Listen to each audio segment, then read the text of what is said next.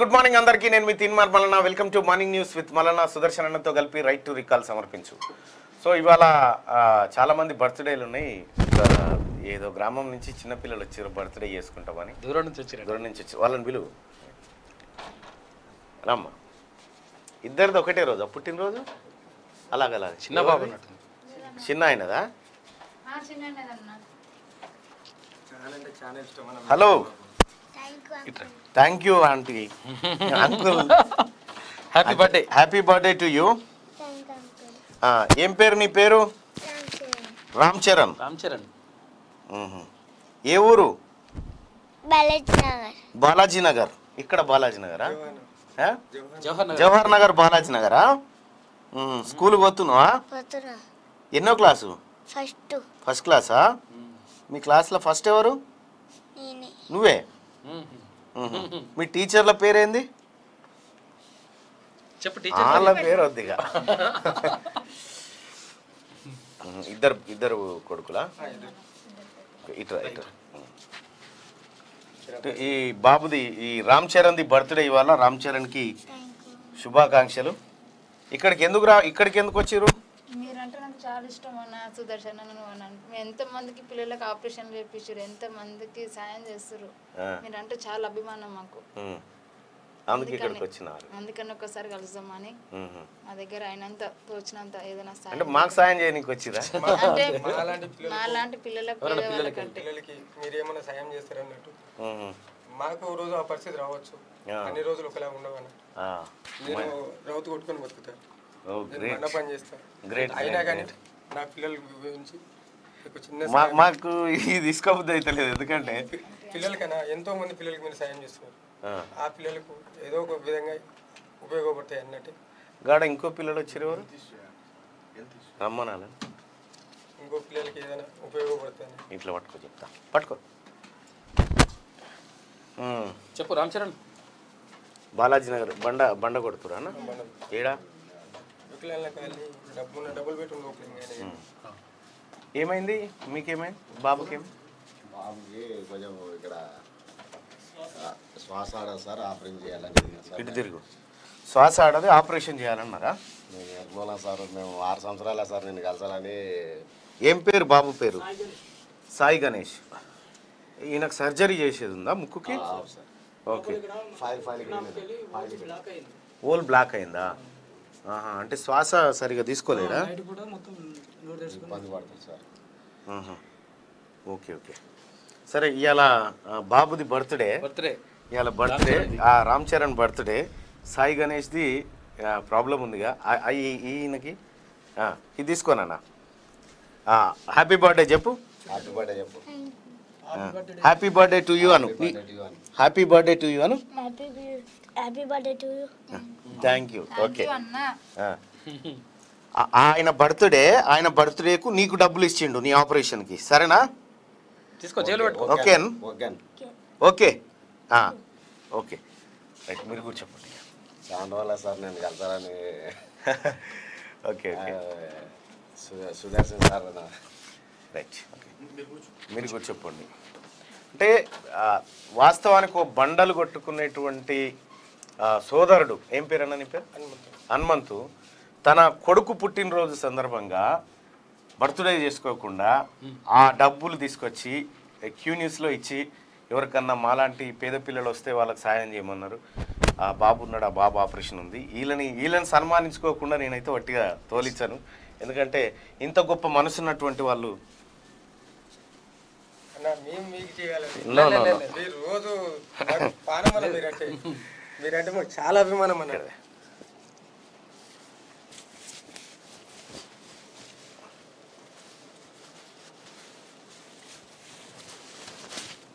మీది చాలా గొప్ప మనసు. ఎందుకంటే మీ మీ పిల్లల మీ పిల్లలు మంది పిల్లల్లో మీ పిల్లల భవిష్యత్తును కూడా చూసుకుంటా ఉన్నారు కాబట్టి అందరు బాగుండాలి. అందులో మీ పిల్లలు కూడా బాగుండాలి అందరు బాగుండాలి. తొంభై కూడా బాలాజీ మీ మీ కుటుంబం కూడా చాలా బాగుండాలని మనసారా కోరుకుంటాను. నీ పేరు చెల్లి? అనంత లక్ష్మణ్ అన్న Ananthalakshmi. Okay Hanumanthu. So great. మీ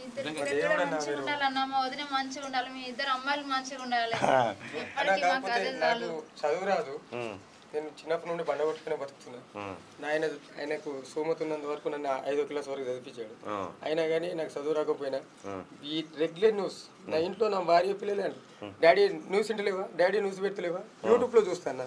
రెగ్యులర్. రోజు. యూట్యూబ్లో నేను యూట్యూబ్ ఆన్ చేసి ఒకసారి సాయి చరణ్ ఆ, రామ్ చరణ్కి జన్మదిన శుభాకాంక్షలు తెలియజేయండి. ఇలా ఇలా యూట్యూబ్లో చూస్తాను అచ్చా అచ్చా.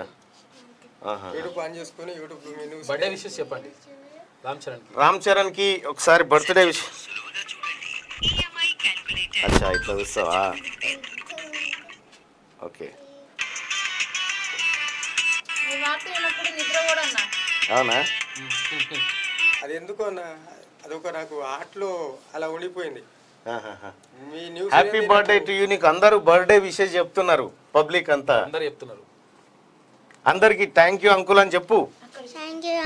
అందరికి థ్యాంక్ యూ అని గట్టు చూసి చెప్పు. అందరికి థ్యాంక్ యూ నేను బాగా చదువుకుంటా. నేను బాగా చదువుకుంటా. పెద్దోడిని అయిన తర్వాత అందరికి హెల్ప్ చేస్తా. అను. అందరికి హెల్ప్ చేస్తా. అన్నకి హెల్ప్ చేస్తా. వెరీ గుడ్ నీ పేరు నాన్న? తరుణ్. తరుణ్. తరుణ్. ఓకే. తరుణ్ తేజ్ అన్న. తరుణ్ తేజ్. తరుణ్ ఆహా. రామ్ చరణ్. రామ్ చరణ్ తరుణ్ తేజ్. అచ్చా మన మెగా ఫ్యామిలీ ఇది పెట్టిరా. తేజ్. నేను చనిపోయినాక మళ్ళీ నువ్వేం చదువుకున్నారా చెల్లె? ఏం ఊరు సొంతూరు? నా జవనారేనా? మొత్తం. పుట్టింది ఇక్కడనే పెరిగింది ఇక్కడనే జవనాలు. అచ్చా అచ్చా. Okay okay. అమ్మ నాన్న ఆదిలాబాద్ నుండి నిజామాబాద్ నుండి వచ్చారు. అచ్చా అచ్చా. ఇక నేను పుట్టింది ఇక్కడనే పెరిగింది ఇక్కడ.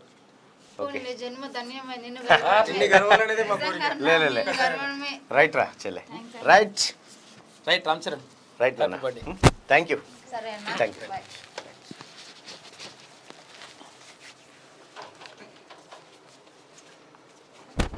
గట్టిగా మార్నింగ్ న్యూస్లోకి వెళ్దాం. మార్నింగ్ న్యూస్లోకి వెళ్తే ఇవాళ వట్టె జానయ్య బర్త్డే కూడా ఇవాళ. ఇవాళ సూర్యాపేటల ధూమ్ ధామ్ ఉంది బర్త్డే యాదవ్ సోదరులంతా ఇవాళ ఘనంగా వట్టె జానయ్య బర్త్డే నిర్వహించుకోబోతా ఉన్నారు. దాని గురించి మాట్లాడదాం.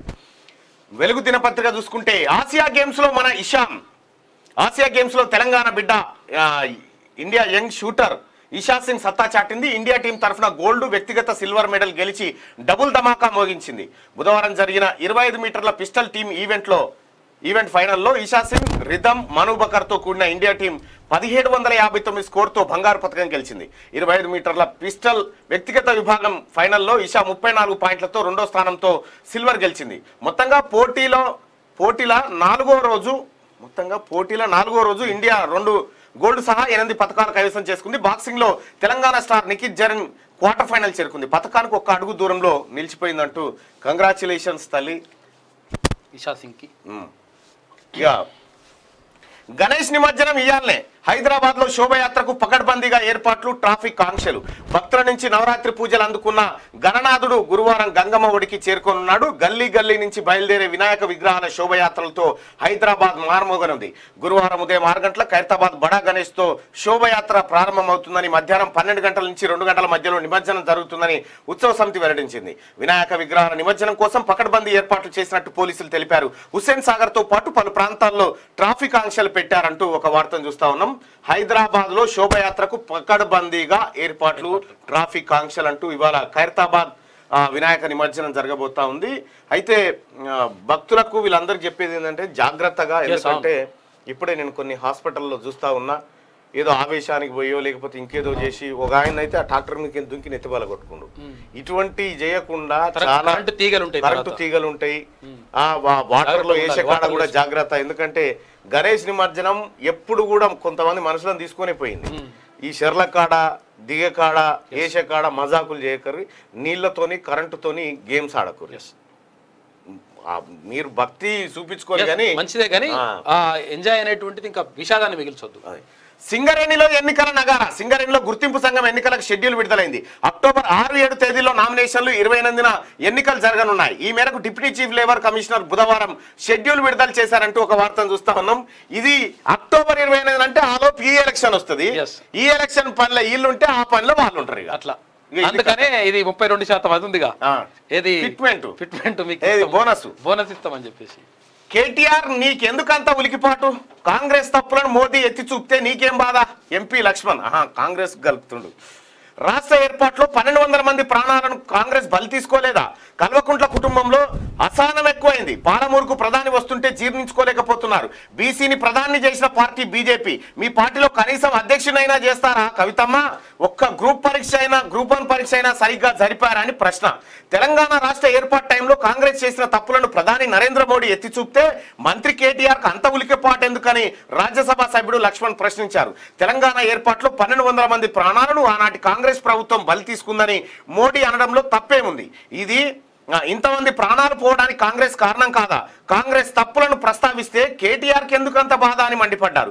కాంగ్రెస్తో పోటీ పడి కేటీఆర్ బీజేపీని విమర్శిస్తున్నారని కల్వకుంట్ల కుటుంబంలో అసహనం ఎక్కువైందని అందుకే ఒకరిని మించి ఒకరు ఏది పడితే అది మాట్లాడుతున్నారని డాక్టర్ లక్ష్మణ్ వాళ్ళ మీద వాళ్ళ కౌంటర్ ఇచ్చిండు. అయితే ఇక్కడ టిఆర్ఎస్ నాయకులు బీజేపీని ఎందుకు టార్గెట్ చేస్తున్నారంటే ఇప్పుడు బీజేపీ లేవాలి ఇంకా జర. లేచి ట్రయాంగిల్ పోరుకు రావాలి కాబట్టి ఆ ప్రయత్నం చేస్తారు కానీ అది మన అందరితోటి కాదు ఇది అయిపోయింది అది. మనం లేపితే లేచే పరిస్థితిలో లేదు. నేను వివేక్ బీజేపీలోనే ఉంటాం. పార్టీ మారుతున్నట్టు వస్తున్న వార్తల్లో నిజం లేదు. కొండా విశ్వేశ్వరరెడ్డి బీఆర్ఎస్ కావాలనే తమపై తప్పుడు ప్రచారం చేస్తున్నదని ఫైర్ అంటూ అక్కడ ఏమైందంటే వివేకు ఆ తర్వాత సుమన్ ఇద్దరు కలిసినటువంటి ఫోటో వివేక్ సార్ది అది వేసిరు. వేసి బీజీ బీఆర్ఎస్లోకి రా చేరబోతా ఉన్నాడు వివేక్ అని తప్పుడు ప్రచారానికి తెరలేపిరు. ఆ ప్రచారం ఆ కథ మీకు మనకు శనార్థి తెలంగాణ దగ్గర మనం మాట్లాడుకుందాం. ఆ ప్రచారం ఎట్లుంటది ఏం కథ? తప్పుడు ప్రచారాల కోసం ఆ టిఆర్ఎస్ ప్రభుత్వం టిఆర్ఎస్ నాయకులు ఏమేం వ్యూహాలు పన్- పన్నబోతా ఉన్నారు? మరో ఇరవై రోజుల తర్వాత ఎలాంటి బాంబులు పేల్చబోతా ఉన్నారు ఆ బాంబులు ఏంటి అనేటి ముందే మీకు చెప్తా. ఈ ఈ టాపిక్ అక్కడ తీసుకుందాం. గ్రూప్ వన్ ప్రిలిమ్స్ రద్దు కరెక్టే. హైకోర్టు సింగిల్ జడ్జి తీర్పును సమర్థించిన డివిజన్ బెంచ్. రూల్స్కు తగ్గట్టు పరీక్ష మళ్ళీ పరీక్ష నిర్వహించాలని ఆదేశం. టీఎస్పీఎస్సీ ఇచ్చిన లెక్కల్లో రెండు వందల యాభై ఎనిమిది మంది సంఖ్య ఎట్లా పెరిగింది? వాళ్ళు అక్రమదారిలో గ్రూప్ వన్ సెలెక్ట్ అయితే పరిస్థితి ఏంది? కమిషన్ తీరు వల్ల మెరిట్ అభ్యర్థులకు నష్టం జరిగే ప్రమాదం. రాజ్యాంగ సంస్థ అని చెప్తున్నారు మరి రూల్స్ ఎందుకు ఫాలో కాలేదని ఫైర్. టీఎస్పీఎస్సీ అప్పీల్ పిటిషన్ కొట్టివేత. సిగ్గుపడురిగా సిగ్గుపడాలి. చెప్పు తీసుకుని కొట్టాలి కొడుకులు అసలు గ్రూప్ వన్ ప్రిలిమ్స్ రద్దు కరెక్టేనని హైకోర్టు డివిజన్ బెంచ్ తెలిసి ఎవరిన బొడ్డూసిపోని పోరని అడిగినా చెప్తారు చెప్తారు. ఇది. ఇది తప్పురాని రెండు వందల యాభై ఐదు మంది ఎక్కువ ఎట్లా ఎక్కువ? నీ అయ్యే జాగిరారా ఉట్టిగా ఇస్తాను ఇట్లా గ్రూప్ వన్ ప్రిలిమ్స్ రద్దు కరెక్టేనని హైకోర్టు డివిజన్ బెంచ్ తేల్చి చెప్పింది. పరీక్షను క్యాన్సిల్ చేస్తూ ఈ నెల ఇరవై మూడున సింగిల్ జడ్జి ఇచ్చిన తీర్పును సమర్థించింది. ఎగ్జామ్ నిర్వహణలో టీఎస్పీఎస్సీ వ్యవహరించిన తీరును తీవ్రంగా తప్పుపట్టింది. నోటిఫికేషన్లో పేర్కొన్నట్లు రూల్స్ను తప్పకుండా పాటించాల్సిందేనని పరీక్షకు హాజరయ్యే అభ్యర్థుల బయోమెట్రిక్ తీసుకోవాల్సిందేనని చెప్పింది. తొలిసారి అంటే గతేడాది అక్టోబర్ పదహారున ప్రిలిమ్స్ నిర్వహించినప్పుడు బయోమెట్రిక్ అమలు చేశారని ఆ పేపర్ లీకేజీతో పరీక్షను రద్దు చేసి తిరిగి జూన్ పదకొండున నిర్వహించినప్పుడు బయోమెట్రిక్ ఎందుకు అమలు చేయలేదని ప్రశ్నించింది. కమిషన్ నిర్లక్ష్యం వల్ల ఒకరికి బదులు మరొకరు పరీక్ష రాసే అవకాశాలు లేకపోలేదని చెప్పింది. టీఎస్పీఎస్సీ తీరు అనుమానాలకు తావిస్తున్నట్లుంది. అభిప్రాయపడింది. ఒకవేళ రెండోసారి పరీక్షలో బయోమెట్రిక్ తీసుకోవద్దనుకుంటే నోటిఫికేషన్ రూల్స్ సవరిస్తూ అనుబంధ నోటిఫికేషన్ జారీ చేయాల్సిందని అలా చేయకపోవడం వల్ల చట్ట వ్యతిరేకమని డివిజన్ బెంచ్ పేర్కొంది. సింగిల్ జడ్జి ఇచ్చిన తీర్పులో జోక్యం చేసుకునేందుకు ఆస్కారం లేదని స్పష్టం చేసింది. సింగిల్ జడ్జి తీర్పును కొట్టివేయాలని కోరుతూ టీఎస్పీఎస్సీ కార్యదర్శి అనితా రామచంద్రన్ దాఖలు చేసిన అప్పీల్ పిటిషన్ను తిరస్కరించింది. ఈ మేరకు జస్టిస్ అభినందన్ కుమార్ షావలి జస్టిస్ జూలకంటి అనిల్ కుమార్తో కూడిన ధర్మాసనం బుధవారం తీర్పు వెలువరించింది. లెక్కల్లో అభ్యర్థుల సంఖ్య ఎట్లా పెరిగింది? గ్రూప్ వన్ ప్రిలిమ్స్ నిర్వహణ తర్వాత రెండు లక్షల ముప్పై మూడు వేల రెండు వందల నలభై ఎనిమిది మంది పరీక్షకు హాజరైనట్టు టీఎస్పీఎస్సీ చెప్పిన లెక్కలకు మళ్ళేమైంది? రెండు లక్షల ముప్పై మూడు వేల ఐదు వందల ఆరు మంది అని వెబ్సైట్లో పేర్కొన్న లెక్కలకు మధ్య చాలా తేడా ఉందని డివిజన్ బెంచ్ తెలిపింది. ఏకంగా రెండు వందల యాభై ఎనిమిది మంది అభ్యర్థులు ఎక్కువగా ఉండటం ఏంటని కమిషన్ను ప్రశ్నించింది చూడరు ఇక. దీని కథ ఏం చూడరి. వాళ్ళు పరీక్షలు రాయాలే ఏం లేదు. ఇప్పుడు ఈడ ఈడ ఇద్దరం ఉన్నాం. ఇద్దరం రాస్తే ఇద్దరు పరీక్ష రాసినట్టు. Yes. ఈ ఇద్దరమే రాసినాం కానీ లేదు ముగ్గురు రాసిరని చెప్తాం. ఈ మూడో ఏడంగా వచ్చిండు? ఈ దొంగతనంగా అక్రమంగా ఉద్యోగాలు నమ్ముకునే కార్యక్రమం ఇది. ఎస్ అక్కడ ఉన్నాయి ఐదు వందల మూడు ఉద్యోగాలు అయితే తెలంగాణ రాష్ట్రానికి శని పట్టినట్టు పట్టింది కేసీఆర్ కుటుంబం. ఈ నిరుద్యోగుల ఉసురు ఉత్తగానే పోతుందా? ఈ కొడుకులను వచ్చి ఉరికించుకుంటూ కొట్టు- కొట్టాలని చెప్పి అంటున్నారు. రెండు లక్షల ఇంకా ముప్పై సుప్రీం మూడు కోర్టు వేల- పోతారట సిగ్గు లేకుంటే ఇంకా. సుప్రీం కోర్టుకు టీఎస్పీఎస్ ఇచ్చుకోరి ఈ టైం పాస్లు బంద్ చేసి మీకు నోటిఫికేషన్లు మీ శాత కాదు మీరు వెయ్యలేరు మీరు ఉద్యోగాలు ఎట్లయినా భర్తీ చేయరు. మీకు ఎమ్మెల్యే టికెట్ల మీద ఎమ్మెల్యే పదవుల మీద. ఆస్తులు సంపాదించుకునే మీద ఉన్నటువంటి సొయ్యి నిరుద్యోగుల మీద ఇక్కడ ప్రజల మీద లేదు. ఇక సాల్ దొర సరిపోయింది మీ పరిపాలన. తెలంగాణ రాష్ట్రం ఇంకా మిమ్మల్ని భరించే ఓపికలో లేదుగా కాదు డిఎస్సికి ప్రిపేర్ అయ్యే అమ్మాయి ఎట్లా ఎంత ఎంత బాధపడుతున్నారు వాళ్ళు? వాళ్ళ ఉసురు తలిగిపోతారా నిజంగా చెప్పాలనుకుంటే? నేను అని నేను నుంచి ఒక ఆశతో ఉన్నా. ఓకే. జాబ్ చేస్తా జాబ్ చేస్తా. మా అమ్మ నన్ను మంచిగా చూసుకుంటా. ప్రతి ఒక్కరి మాట ఏంటంటే ఏం చేస్తే నీకు జాబ్ వస్తే ఏంటని చెప్పేసి. నాకు ఏ ఆశ లేదు. మా అమ్మని నేను చక్కగా చూసుకోవాలి అని చెప్పేసి. మా అమ్మ నాన్నకి సిక్స్ మెంబర్స్ వాళ్ళు కష్టపడుతూ మమ్మల్ని చదివిస్తా ఉన్నారు. నా పొజిషన్ ఇట్లా ఇక్కడ ఉన్న ఎంతో మందికి అండ్ ఈ స్టేట్లో ఎంతో మంది ఉన్నారు. వాళ్ళకి నా బాధ కూడా ప్రతి ఒక్కరికి ఉండింటది. నేను మహబూబ్ నగర్ డిస్టిక్ ఉమెన్కి వన్ ఉంది. ఒకటే పోస్ట్ ఒక్కటే ఎక్కువ పోస్ట్. పోస్ట్ లేవు. ఎట్లా జాబ్ కొడతామా ఈ సిలబస్తో జాబ్ కొడతామా ఈ పోస్టులతో జాబ్ కొడతామా ఈ జీరో పోస్టులతో మేము చేయగలుగుతామని చెప్పేసి. ఇక్కడున్న ప్రతి ఒక్కరి కడుపు మడ్డుతోటి గట్టిగా అనుకుని వచ్చింది. ఇక్కడ ఉన్న వాళ్ళు అదే ఇంకా ఎవ్రీ డిస్ట్రిక్ట్లో ఇవాళ ధర్నా జరుగుతుంది. మేబీ ఆ ఆ విషయంతో ఇక్కడ రాలేదేమో కానీ చదువుతున్న వాళ్ళకి ప్రతి ఒక్కరికి తెలుస్తుంది ఎంత బాధ అవుతుంది అని చెప్పేసి జాబ్ రాకపోతే ఎట్లా? ఇంట్లో సిచ్యువేషన్స్ ఎట్లా ఫేస్ చేయాలి? ఇంట్లో మనుషులు లేకపోతే రిలేషన్స్ కానీ ఎట్లా ఫేస్ చేయాలి? ఇంత పైన నమ్మకం పెట్టుకుని ఉన్నారే వాళ్ళకి ఏం ఏం ఆన్సర్ ఇవ్వాలని చెప్పేసి ఏం అర్థం అవ్వట్లేదు. ఎందుకు మాకు ఇంత అన్యాయం జరుగుతూ ఉంది? ఫైవ్ ఫైవ్ థౌసండ్ పోస్టులు మేము ఏమేం చేసుకోవాలి అసలు? ఆ వద్దు మాకు అసలు ఫైవ్ థౌసండ్ పోస్ట్లే వద్దు. మాకు ఈ జీరో వద్దు. ఆ గుండు ఎక్కడ చూసినా గుండు అసలు. ఎక్కడ ఉంది? హైదరాబాద్లో కొన్ని పోస్టులు తప్ప ఏ డిస్ట్రిక్ట్లో కూడా కరెక్ట్గా పోస్టులు లేవు అసలు. మాకు ఫైవ్ థౌసండ్ వద్దు సార్. మాకు కావాల్సిన థర్టీన్ థౌసండ్ ఇంకా చాలా ఉన్నాయి. కానీ ఎవరికి తెలియదు ఎంత ఎంత బాధపడుతున్నామో. మిడ్ నైట్స్ నిద్ర రావట్లేదు. మధ్యలో మేలుకు వచ్చి అదే సిలబస్ పెరిగింది కదా. అదే ఎట్లా అదే ఎట్లా అని చెప్పేసి అసలు హెడ్గా ఉంది అసలు. పేరెంట్స్ అడిగితే కూడా వాళ్ళకి ఏం చెప్పుకోలేకపోతున్నాం. వాళ్ళకి ఏం తెలుసు? పాప చదువుతుంది. జాబ్ తెచ్చుకుంటా అని చెప్పేసి అందరికీ చెప్పుకుంటా ఉంటారు. అది అట్లా అందరికీ చెప్పుకుంటా ఉంటే నాకు ఇంకెక్కువ భయం వేస్తా ఉంటది. ఎట్లా? అదే ఇంత ఉంది కదా అరే పోస్ట్ తక్కువ ఉన్నాయి కదా ఇంకా ఈ అమ్మ ఏం బాధ ఇది? కేసీఆర్ నీ బిడ్డకి ఇట్లనే బాధపడ్డా. కేసీఆర్. ఆ? నాలుగు రోజులు ఖాళీగా ఉంటే నువ్వు ఆగకపోతేవి కదా. నాలుగు రోజులు ఖాళీగా ఉంటే ఎంపీ ఓడిపోతే తీసుకుపోయి మళ్ళీ మేనేజ్మెంట్ కోటలో ఎమ్మెల్సీని చేసుకుంటుంది కదా. ఎమ్మెల్సీని చేస్తే నీ బిడ్డ నాలుగు రోజులు ఖాళీగా ఉంటేనే నువ్వు ఓర్చుకోకపోయినావు తలడిల్లిపాయ నీ నీ పెయ్యి. మరి బిడ్డలు కొన్ని ఏండ్ల సంది వాళ్ళ అమ్మ నాయన చెమట దారపోయి చదివిపిస్తుంటే ఉద్యోగాలు లేవాయ్ పోస్టులు చేయవాయ్ పురుగుల పడి చచ్చిపోతారు కేసీఆర్. పురుగుల పడి చచ్చిపోతారు. నాలుగేస్తా నాలుగు అమ్ముకుంటేవి? నాలుగేస్తే నాలుగు అమ్ముకుంటివి.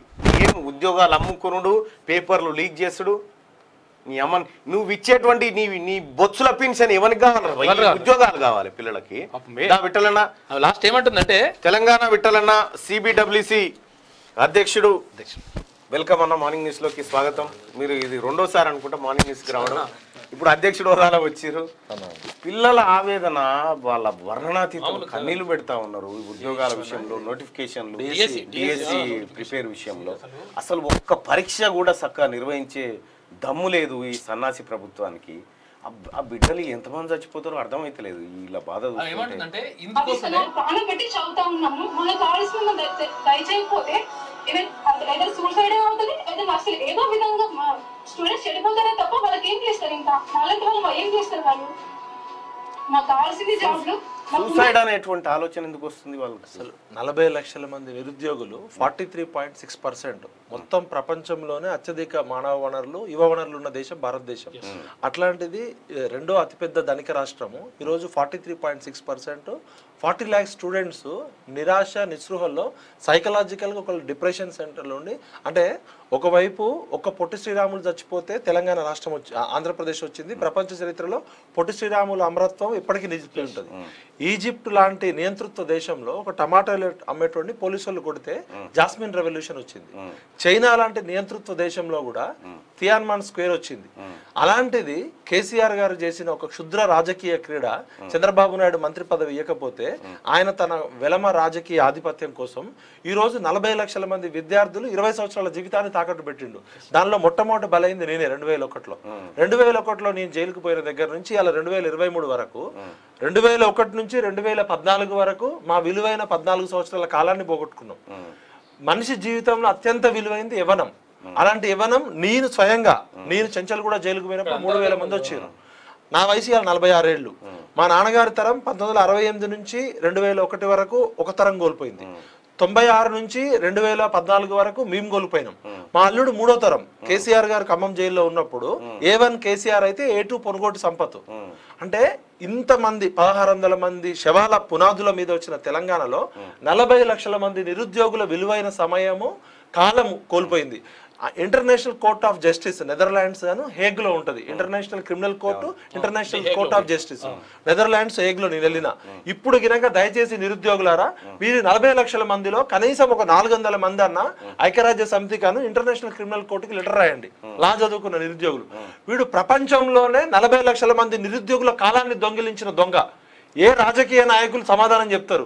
ఇలా భారత రాజ్యాంగము ప్రమాణం చేసింది కదా సర్వసత్తాక సామ్యవాద గణతంత్ర రాజ్యము అన్ని రకాల ఆర్థిక దోపిడీ లేకుండా అన్ని రకాల స్వేచ్ఛ స్వాతంత్రము సమానత్వం ఇస్తామని మరి ఇలా భారత రాజ్యాంగం హైకోర్టు జడ్జిలు కానీ సుప్రీంకోర్టు జడ్జిలు కానీ న్యాయ వ్యవస్థ కానీ బ్యూరోక్రసీ కానీ ఈ డిఎస్సి పిల్లలు పది సంవత్సరాలు తెలంగాణ వచ్చి నల ఇరవై వేల పోస్టులు ఖాళీగా ఉన్నాయి నాలుగు వేల రెండు వందల స్కూల్స్ బంద్ అయినాయి. అన్న మళ్ళా ఉగాండాలో ఆఫ్రికాలో జింబాంబేలో కూడా స్కూల్స్ ఓపెన్ చేస్తున్నారు. ఇవాళ అన్నం లేక మట్టి బిడ్డలు బురద బిడ్డలు తింటున్న దేశాల్లో కూడా స్కూల్స్ ఓపెన్ అవుతున్నాయి. అలాంటిది ధనిక రాష్ట్రమైన తెలంగాణలో నాలుగు వేల రెండు వందల స్కూల్స్ బంద్ అయినాయి. ఒక్క యూనివర్సిటీ కొత్తగా రాలే. మానవ వనరుల అభివృద్ధిలో ఫస్ట్ ప్రయారిటీ ఇచ్చేది డెవలప్మెంట్ కంట్రీస్. ఇవాళ ఐక్యరాజ్య సమితి మిలీనియం డెవలప్మెంట్ గోల్స్ అని ఉంటది. దానిలో ఫస్ట్ బేస్ అక్షరము. అక్షరము ఆరోగ్యము ఆర్థికము అధికారము. ఇవాళ అక్షరాన్ని బంధించిండు దొంగ వీడు. నిజాం రాజు కూడా అరబ్బు పర్షియను ఉర్దూ భాషలో ఉన్న స్కాలర్స్ని ప్రపంచవ్యాప్తంగా ఉన్న స్కాలర్స్ని తీసుకొచ్చి ఉస్మానియా యూనివర్సిటీలో మెడికల్ కోర్సులు కూడా ఉర్దూలో పెట్టిండు. అలా నిజాం రాజు చాలా బెటర్ ఈయనకన్నా. నిజామును మించిన నియంత వీడు ఒక ఒసే రాములమ్మ సినిమా గాని లేకపోతే మన కొన్ని మన విజయశాంతి గారి సినిమాలు ఆ. రామిరెడ్డి పాత్ర ఉంటది కదా. దొర ఏం చేస్తాడు? ఒక మందు గ్లాస్ పెట్టుకొని ఒక కర్రపాయని మించి భూమిలో లెక్కలన్నీ చేయమంటాడు. ఒక పోలీసు డీజీపీని కూర్చోబెట్టుకుంటాడు. ఒక లాయర్ని కూర్చోబెట్టుకొని ఒక ఏ, మాదిగ పోషిగా ఇట్రా అంటాడు. కరెక్ట్ ఒసే రాయిలమ్మ సినిమాలో గాని ఆర్ నారాయణమూర్తి సినిమాలో ఏ విధంగా అయితే ఒక ఫ్యూడల్ వెలమ దొర పాత్ర ఉందో దొర అంటే దొంగ రాసుకెళ్ళని. ఇప్పటి నుంచి గుర్తుపెట్టుకోండి. దొర అంటే ఈ దొంగ రాసుకెళ్ళి చేసే పనుల వల్ల నలభై లక్షల మంది నిరుద్యోగులు తమ ఇరవై సంవత్సరాల జీవితాన్ని కోల్పోయారు. దీనికి సమా సమాజంలో ఉన్న మేధావులు రచయితలు కవులు కళాకారులు జర్నలిస్టులు జుడిషియరీ ఐఏఎస్లు ఐపీఎస్లు మీకేమైనా సిగ్గు శరం మానం అభిమానం ప్రజాస్వామ్య వ్యవస్థ మీద నమ్మకం ఉంటే ఇలా ఆ చెల్లి మాట్లాడుతున్నది పాపం ఒక్క రెండు రూపాయలు లేక కూడా దిల్సుదార్ నుంచి నడుచుకుంటూ వచ్చింది ఆ అమ్మాయి. ఇవాళ ఉస్మానియా యూనివర్సిటీలో ఒక జత బట్టలు ఉన్న పిల్లలు ఉన్నారు చాలా మంది ముఖానికి గుడ్డలు కట్టుకొని క్యాటరింగ్ పనికి పోతున్నారు. జొమాటో స్విగ్గీలో పిహెచ్డి ఎంటెక్ లైనలు పోతున్నారు. కాబట్టి తెలంగాణ సమాజం మొత్తం భారతదేశం మొత్తం కూడా ఆన్సర్ చెప్పాలి. ఎందుకంటే మానవ వనరుల విలువైన సమయం పద్దెనిమిది నుంచి ముప్పై సంవత్సరాలు. ప్రపంచాన్ని జయించిన యువకులంతా కూడా పాతికేళ్ళ లోపోలే. ఈ రోజు ఇరవై సంవత్సరాల విలువైన కాలం పోతే నలభై లక్షల మంది జీవితాలు. ఎందుకు వచ్చింది తెలంగాణ? ఎవరి కోసం వచ్చింది తెలంగాణ? ఓ చంద్రబాబు నాయుడు ఆయన కమ్మదొర పోయి చంద్రశేఖరరావు అనే వెలమదొర కోసం వచ్చిందా? బిడ్డ చెప్తున్నాం నలభై లక్షల మంది ఉరుకురికి కాండ్రించి ఉంచే ఉమ్- ఉమ్మేస్తాం. ఆ రోజు మేము. కేసీఆర్ మీకు ఇది అన్యాయం ఇది. ఎందుకంటే తన బిడ్డ నాలుగు రోజులు ఖాళీగా ఉంటే ఓర్చుకోలేకపోయిండు. తన కుక్క పిల్లకి అస్కీ అనే కుక్క పిల్లకి ఎవడో విస్కీ పోతే ఆస్ట్రేలియా కుక్క పిల్ల చచ్చిపోతే ఇద్దరు డాక్టర్ల మీద కేసు పెట్టిండు. మా పిల్లలేమో కుక్కలు కలిసి చావాలి. కనీసం నువ్వు మనిషి అనుకుంటే నీ ముఖం నువ్వు అద్దంలో చూసుకో. శోభమ్మ ఇలా నలభై లక్షల మంది నిరుద్యోగుల ఉసురు తగులుతుంది. ఇలా ప్రకృతి ఉంది అమ్మవారు ఉంది. పొట్టోడిని పొడుగోడు కొడితే పొడుగోడిని పోషమ్మ కొట్టినట్టు నేను ఇప్పటికైనా శోభమ్మకి రిక్వెస్ట్ చేస్తున్నా. ఇలాంటి ఈ ఈ షాడిస్ట్ తోటి నువ్వు ఎట్లా ఎగినవో నీకు దండం పెట్టి పాదాభివందనాలు చేయాలి. కవితక్క రామన్న నేను కూడా రిక్వెస్ట్ చేస్తున్నా. చరిత్ర ఆ రోజు పాలాభిషేకాలు చేసినాం. మరి ఈ రోజు ఈ అభిషేకాలు చేస్తే తట్టుకోగలరా? నేను డైరెక్ట్ వార్నింగ్ ఇస్తున్నా. పాలాభిషేకాలు చేసిన నలభై లక్షల మంది నిరుద్యోగులు ఒక్కసారి మేము ఓపిక నశించి రోడ్ల మీదకి వస్తే మీ ఆర్మీ ఆపలేదు మీ మిలిటరీ ఆపలేదు మీ పోలీసులు ఆపలేరు. ఉరికిరికి ఉమ్మేసే ఉద్యమం మొదలు పెడతాం. గుర్తుపెట్టుకోండి. కాండ్రించి ఉమ్మేస్తాం. బిడ్డలారా ఇప్పటికైనా చెప్తున్నాం. మా నిరుద్యోగుల జీవితాలు నలభై లక్షల మంది తెలంగాణ యువతతోటి మీరు క్షుద్ర రాజకీయ క్రీడ చేస్తున్నారు. మీరు సీఎంలు సీటు తీసుకోండి పిఎం సీట్ తీసుకోండి లక్షల ఎకరాల కరప్షన్ చేయండి. కానీ మా నిరుద్యోగుల ఉసురు మాత్రం పిల్లలు ఆత్మహత్యలు చేసుకున్నారు. ఇప్పటికే పదహారు వందల మంది ఆత్మహత్యలు చేసుకున్నారు. ఒక్క ప్రాణం పోకుండా రక్తం చింది తెలంగాణ ఉద్యమంలో చనిపోయిన వాళ్ళ కంటే కేసీఆర్ పరిపాలనలో చనిపోయిన వాళ్ళ సంఖ్య ఎక్కువ. ఉందన్న ప్రభుత్వ ఉద్యోగులు సూసైడ్ చేసుకున్నారు. నూట ముప్పై ఏడు మంది సర్పంచ్ ఉంటాడు పిలువగా ఆయన. ఆయన నేను నేను ఇంకా మీకు ఒకసారి చెప్పి చచ్చిపోదాం సార్ అని వచ్చిండు ఆయన. సర్పంచ్. సర్పంచులు సూసైడ్ చేసుకుంటారని ఊరికి పెద్ద ఎంత దౌర్భాగ్యక పరిస్థితి ఇది? ఇగరా పెద్ద ఆయన. ఇగో. ఈయన ఏం లేదు. ఈయనకు బిల్లులు రావాలి. పద్దెనిమిది లక్షల ఇట్రా పెద్ద ఆయన. ఈయన పద్దెనిమిది లక్షల రూపాయల బిల్లు రావాలి.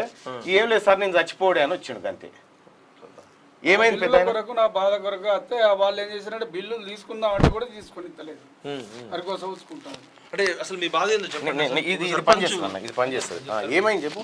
ఏమైందంటే ఇది నేను ఏ ఊరు? మాది దొంగతుర్తి. ఏ ఏ జిల్లా? ధర్మారం మండలం మా ధరంపూరి కాన్స్టెంట్. ధర్మపురి కాన్స్టిట్యున్సీ పెద్దపల్లి జిల్లా. ఏమైంది నీ బాధ? అయితే ఏమైందనంటే మేము నలుగురు వాళ్ళు వార్డ్ నంబర్లను సర్పంచ్ ఉప సర్పంచ్ అందరం కలిసినాం అయితే నేను ఎన్ఆర్ఎస్ పనిచేసిన ఇవన్నీ ఉన్నాయి పేపర్ అది పని చేసుకుంటున్నా. ఉంటే ఏమైందనంటే వాళ్ళు ఇచ్చులేదు. అందులో కొన్ని మరి నీకు ఉన్నాయి కదా బిల్లులు అన్నీ వచ్చినాయి కదా ఆ బిల్లుల కొరకు నువ్వు మాట్లాడమని వాళ్ళు నేను సరే మరి నా బిల్లులు వస్తలేవా నా సంగతి ఏందని వాళ్ళని కుప్పేసి అడిగిన. అడిగినాక ఏమన్నారంటే నీకు అత్త రాకపోతే ఇంట్లో పైసలు తీసుకో. మాకు ఒక ఇరవై లక్షలు ఇవి మేము. మా పని చేసుకుంటాం నువ్వు ఎన్ఆర్ఎస్ పైసలు పద్దెనిమిది నెలల రాక పది లక్షల వరకు చేసి. నాకు ఏం లేదు. నేను ఇంతకుముందు సర్పంచ్ చేసిన అప్పుడే అన్ని అమ్ముకున్నా. ఇప్పుడు మా వాళ్ళు నేను ఒక రూపాయి పెట్టలే దీపావళి కొడుతుంది వాళ్ళే రమ్మన్న వాళ్ళే. వచ్చిన కర్మారి ఉన్న పోయినా. పోయి నిలబడితే వాళ్ళే వేసిరు వేసి గెలిచిన. గెలిచినాక నాకు డబ్బులు లేవు కదా. అని ఉప సర్పంచ్ని పైసలు పెట్టుకోని అన్న. పెడదాం సరిసగం తీసుకుందాం అన్నాడు మొత్తం పైసలు తీసుకున్నాడు. ఎవరినంటే వాళ్ళను కట్టుకొని తాగిపించి తినిపించి నన్ను ఉంచుకుంటాను ఇప్పుడు నీకు ఎన్ని పైసలు పద్దెనిమిది లక్షలు రావాలి నాకు. ఏడు లక్షలు నీకు రావాల్సిన నిధులు ఎందుకు రావాలి ఎన్ఆర్జీ చేసి ఎన్ఆర్ఎస్ పైసలు వచ్చేది ఉండే ఇంకా కొన్ని రికార్డ్ చేయనిత్తలేరు. ఎన్ఆర్ఎస్ పని కొన్ని గ్రామ పంచాయతీ పైసలు కూడా రికార్డ్ చేయనిత్తలేరు వాళ్ళందరూ కలిసి. నన్ను సస్పెండ్ చేసిర్రు. సస్పెండ్ చేసి సస్పెండ్ చేసిర్రు మా ఇత్తలేరు వాళ్ళే గ్రామ పంచాయతీ పైసలు తీసుకున్నవాడు అరే నేను తీసుకుంటు కదా నేను ఒక రూపాయి కూడా తినలేదని కూడా అన్నా కానీ ఇంటలేదు కోర్టు కూడా ఆర్డర్ ఉందా నీకు? కోర్టు ఆర్డర్ కూడా ఉంది సార్. నా ఇది ఒక ఎగ్జాంపుల్ పదమూడు వేల కోట్ల రూపాయలు మీ పంచాయతీరాజ్ నిధులు దొంగిలించిన దొంగ డిజిటల్ కోడ్ తోటి. ఫస్ట్ సోమేష్ కుమార్ అనేటువంటి అరెస్ట్ జైలేయాలి కేంద్ర ప్రభుత్వము డైరెక్ట్ డెబ్బై మూడు డెబ్బై నాలుగు రాజ్యాంగ సవరణ ద్వారా సర్పంచులు మీరు ప్రధానమంత్రి కన్నా పవర్ఫుల్ ఒక గ్రామ సర్పంచ్. మీ గ్రామానికి మీరే రాజు. రాజు. డెబ్బై మూడో రాజ్యాంగ సవరణ డెబ్బై నాలుగో రాజ్యాంగ సవరణ చేసి రాజీవ్ గాంధీ టైంలో డైరెక్ట్ సర్పంచ్ అంటే మీరు కింగ్ ముఖ్యమంత్రి కాదు ప్రధానమంత్రి కాదు. అలాంటిది మిమ్మల్ని బిచ్చగాళ్ళగా చేసి ఆత్మ ఒక సర్పంచ్ ఆత్మహత్య చేసుకుంటుండంటే ఈ దేశానికి వెన్నెముక గ్రామం. గాంధీ కలలు కన్నా గ్రామ స్వరాజ్యము గ్రామ స్వరాజ్యాన్ని పూర్తిగా వెన్నెముక ఇరిచేసిండు.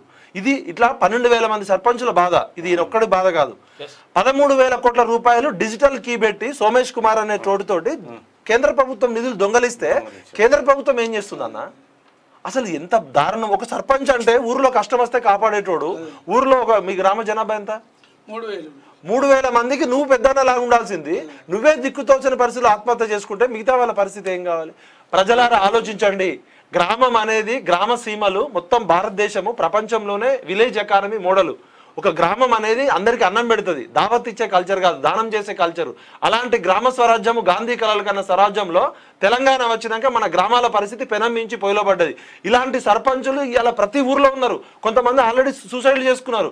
భార్య భర్తలు పిల్ల మెడలో పుస్తకాలు తీసుకొచ్చి గ్రామ పనులు ఇస్తే ఇంతవరకు బిల్లులు తీసుకురాలే. రాష్ట్ర ప్రభుత్వం డబ్బులు ఇవ్వకపోగా కేంద్ర ప్రభుత్వం ఇవ్వాల్సిన డబ్బులని దొంగిలించేసింది. వీడు ఎంత పెద్ద దొంగ అంటే కేంద్ర ప్రభుత్వ నిధులు గ్రామ స్వరాజ్యంకి రావాల్సిన పదమూడు వేల కోట్ల రూపాయలు సోమేష్ కుమార్ అనే చీఫ్ సెక్రటరీ తోటి డి- డిజిటల్ కోడ్ దొంగిలించిండు. మొత్తం వ్యవస్థలు కుప్పకూలినాయి. ఇవాళ తెలంగాణ ప్రజల ఆలోచించండి. మీ మీద ఆవేశంతోటో మళ్ళన్న ఏదో కేసీఆర్ మీద గట్టు పంచాయతో కాదు. మా కడుపు రగిలిపోతుంది. మూడు తరాల తెలంగాణ ఉద్యమానికి సజీవ సాక్ష్యంగా చెప్తున్నా. ఇక మనము ఇక దంచుడే ఓటు అనే ఆయుధంతో వాడిని దంచుడే దించుడే. ప్రజలారా మీరు మేల్కొరకపోతే ఇంకొక మూడు తరాల పాటు ఇలాంటి కచరా పాలన వస్తుంది. ఏమంటారు జనం మీ ఊళ్ళో కేసీఆర్ పరిపాలన మీద? కేసీఆర్ పరిపాలన పోవాలని అంటారు. ఇంకేమన్నాడు ఇక్కడ పోవాలంటారా వేస్తట్లేరా? వాళ్ళ తినేటి అని అన్నాడు ఏం లేదు అన్నాడు గిన్ని కోట్లు సంపాదించాయి ఎక్కడికి వెళ్ళి వచ్చింది? వేసుడే ఏం పేరు నీ పేరు? పాలకుడు సత్తయ్య పాలకూరు సత్య గౌడు. నువ్వు గౌడు కాబట్టి నేను సస్పెండ్ చేసి అవతల బారేసాను అదే నువ్వు రావైతుంటే విరమైన అవుతుంటే వేరే ఉండేది? షాడో పెత్తనము ఆ. ప్రతి మండలంలో అన్న ట్రాక్టర్లు ఇచ్చిన దానిలో పది ట్రాక్టర్లు ఇస్తే తొమ్మిది వెలమదొరలకే. ప్రపంచంలో అమెరికాలో ఉన్న నలభై మూడు మంది వెలమదొరలను తీసుకొచ్చి ఇజ్రాయెల్లో ట్రైనింగ్ ఇచ్చిర్రు. ఫోన్లు ఎట్లా ట్యాపింగ్ చేయాలా అని చెప్పి. నాకు దొరకట్లే వెలమదొరలు. పోస్టులు ఏమో మంద ఉన్నాయి. వెలమలు ఎతికి ఎతికి పట్టుకున్నారు ప్రపంచం మొత్తంలో. ఇజ్రాయెల్లో నలభై మూడు మందికి ట్రైనింగ్ ఇచ్చి పెగాసెస్ కన్నా ఇంకో కొత్త సాఫ్ట్వేర్ తయారు చేసిరు ఏది ఐఎస్ఐ రా రా దగ్గర కూడా లేదు. వంద కోట్లు వెయ్యి కోట్లు ఖర్చు పెట్టి పార్క్ అయ్యే తోటల్లో ఒక ఫ్లోర్ అంతా తీసుకున్నారు. Sixth floor seventh floor. అంటే సెంట్రల్ గవర్నమెంట్ కూడా చేయట్లే తీవ్రవాదులను పట్టుకొని కూడా చేయట్లే. వీళ్ళు మొత్తం వ్యవస్థలు కుప్పకూలిపోయినాయి. ఇవాళ తెలంగాణలో ప్రభుత్వం అనేది లేదు రాజ్యాంగం లేదు రాజరిక పరిపాలన కూడా లేదు. రాజరికంలో కూడా రాజు ఒక దండన వేయాలంటే నాలుగు దెబ్బలు కొట్టాలా మూడు దెబ్బలు కొట్టాలా అనేప్పుడు కూడా రాజు మహామంత్రి మంత్రి చాణక్యుడు ఒక దండన ఉండేది. రాజుకి రాజధర్మం తెలియదు రాజనీతి తెలియదు దండన కూడా తెలియదు. మరి ఈయన రాజా చక్రవర్త ప్రజాస్వామ్య ముఖ్యమంత్రి ఏం అర్థం కావట్లే. ప్రజలారా రాజరిక పాలనలో కూడా ఒక రాజనీతి ఉండేది. ధర్మం తప్పిన రాజుకి శిక్ష తప్పదు. ప్రజలారా మీ చేతిలో ఓటు అనే బలమైన ఆయుధం ఉంది. మీరు మరొకసారి అమ్ముడు పోతే ఓటు ఆయన ఇచ్చే ఐదు వందలకు ఐదు వేలకు అమ్ముడు పోతే గాడిద పాలకి ఇవాళ ఏడు వేల ఐదు వందలు డిమాండ్ ఉందన్న. నా ఫ్రెండ్ ఒకడు అక్కడ ఆంధ్రాలో డాంకీ ఫార్మింగ్ పెట్టుకున్నాడు. ఐటీ జాబ్ బంద్ చేసి. గాడిద కూడా యాభై వేల నుంచి లక్ష రూపాయల విలువ ఉంది. ఒక మేక పిల్లను కొనాలంటే మూడు వేల నుంచి ఐదు వేలు ఉంది. ఇలాంటి ప్రజాస్వామ్య వ్యవస్థలో ఓటుని వాడు ఐదు వందల రూపాయలకు కొంటే ఒక్క రోజుకి మేము లెక్కేస్తే ఐదు వందల రూపాయలు డివైడెడ్ బై మూడు వందల అరవై ఐదు రూపాయలు ఇస్తే రూపాయి పాలు వస్తుంది. ఉచ్చపోస్తే ఐదు రూపాయలు అవుతుంది అలా చాయ్ తాగితే పదిహేను రూపాయలు అవుతుంది. అంటే మీరు ఇచ్చే ఐదు వందల రూపాయలకు ఐదు వేల రూపాయలకు సారా సీసాకు మటన్ బిర్యానీకు అమ్ముడు పోవాలా? ఓటరు షూటర్ అయినంత మా కాలం ఓటరు షూటర్ కానంత కాలమే మీ ఆగడాలు నడుస్తాయి. ఓటర్లారా మీరు మేల్కోండి. ఇది మల్లన్న రోజు పొద్దున్నే ఎందుకు మల్లన్నకి ఏమన్నా గెట్టు పంచాయతా? లేకపోతే మాకేమన్నా కేసీఆర్ మీద కోపమా? ప్రజాస్వామ్యాన్ని బతుకుండగానే బొందబెట్టిండు ప్రపంచంలో పచ్చి అబద్ధాలకి పుట్టినిల్లు కేసీఆర్ నోరు. ప్ర- ప్రజలు కూడా ఒకటి గమనించాలి.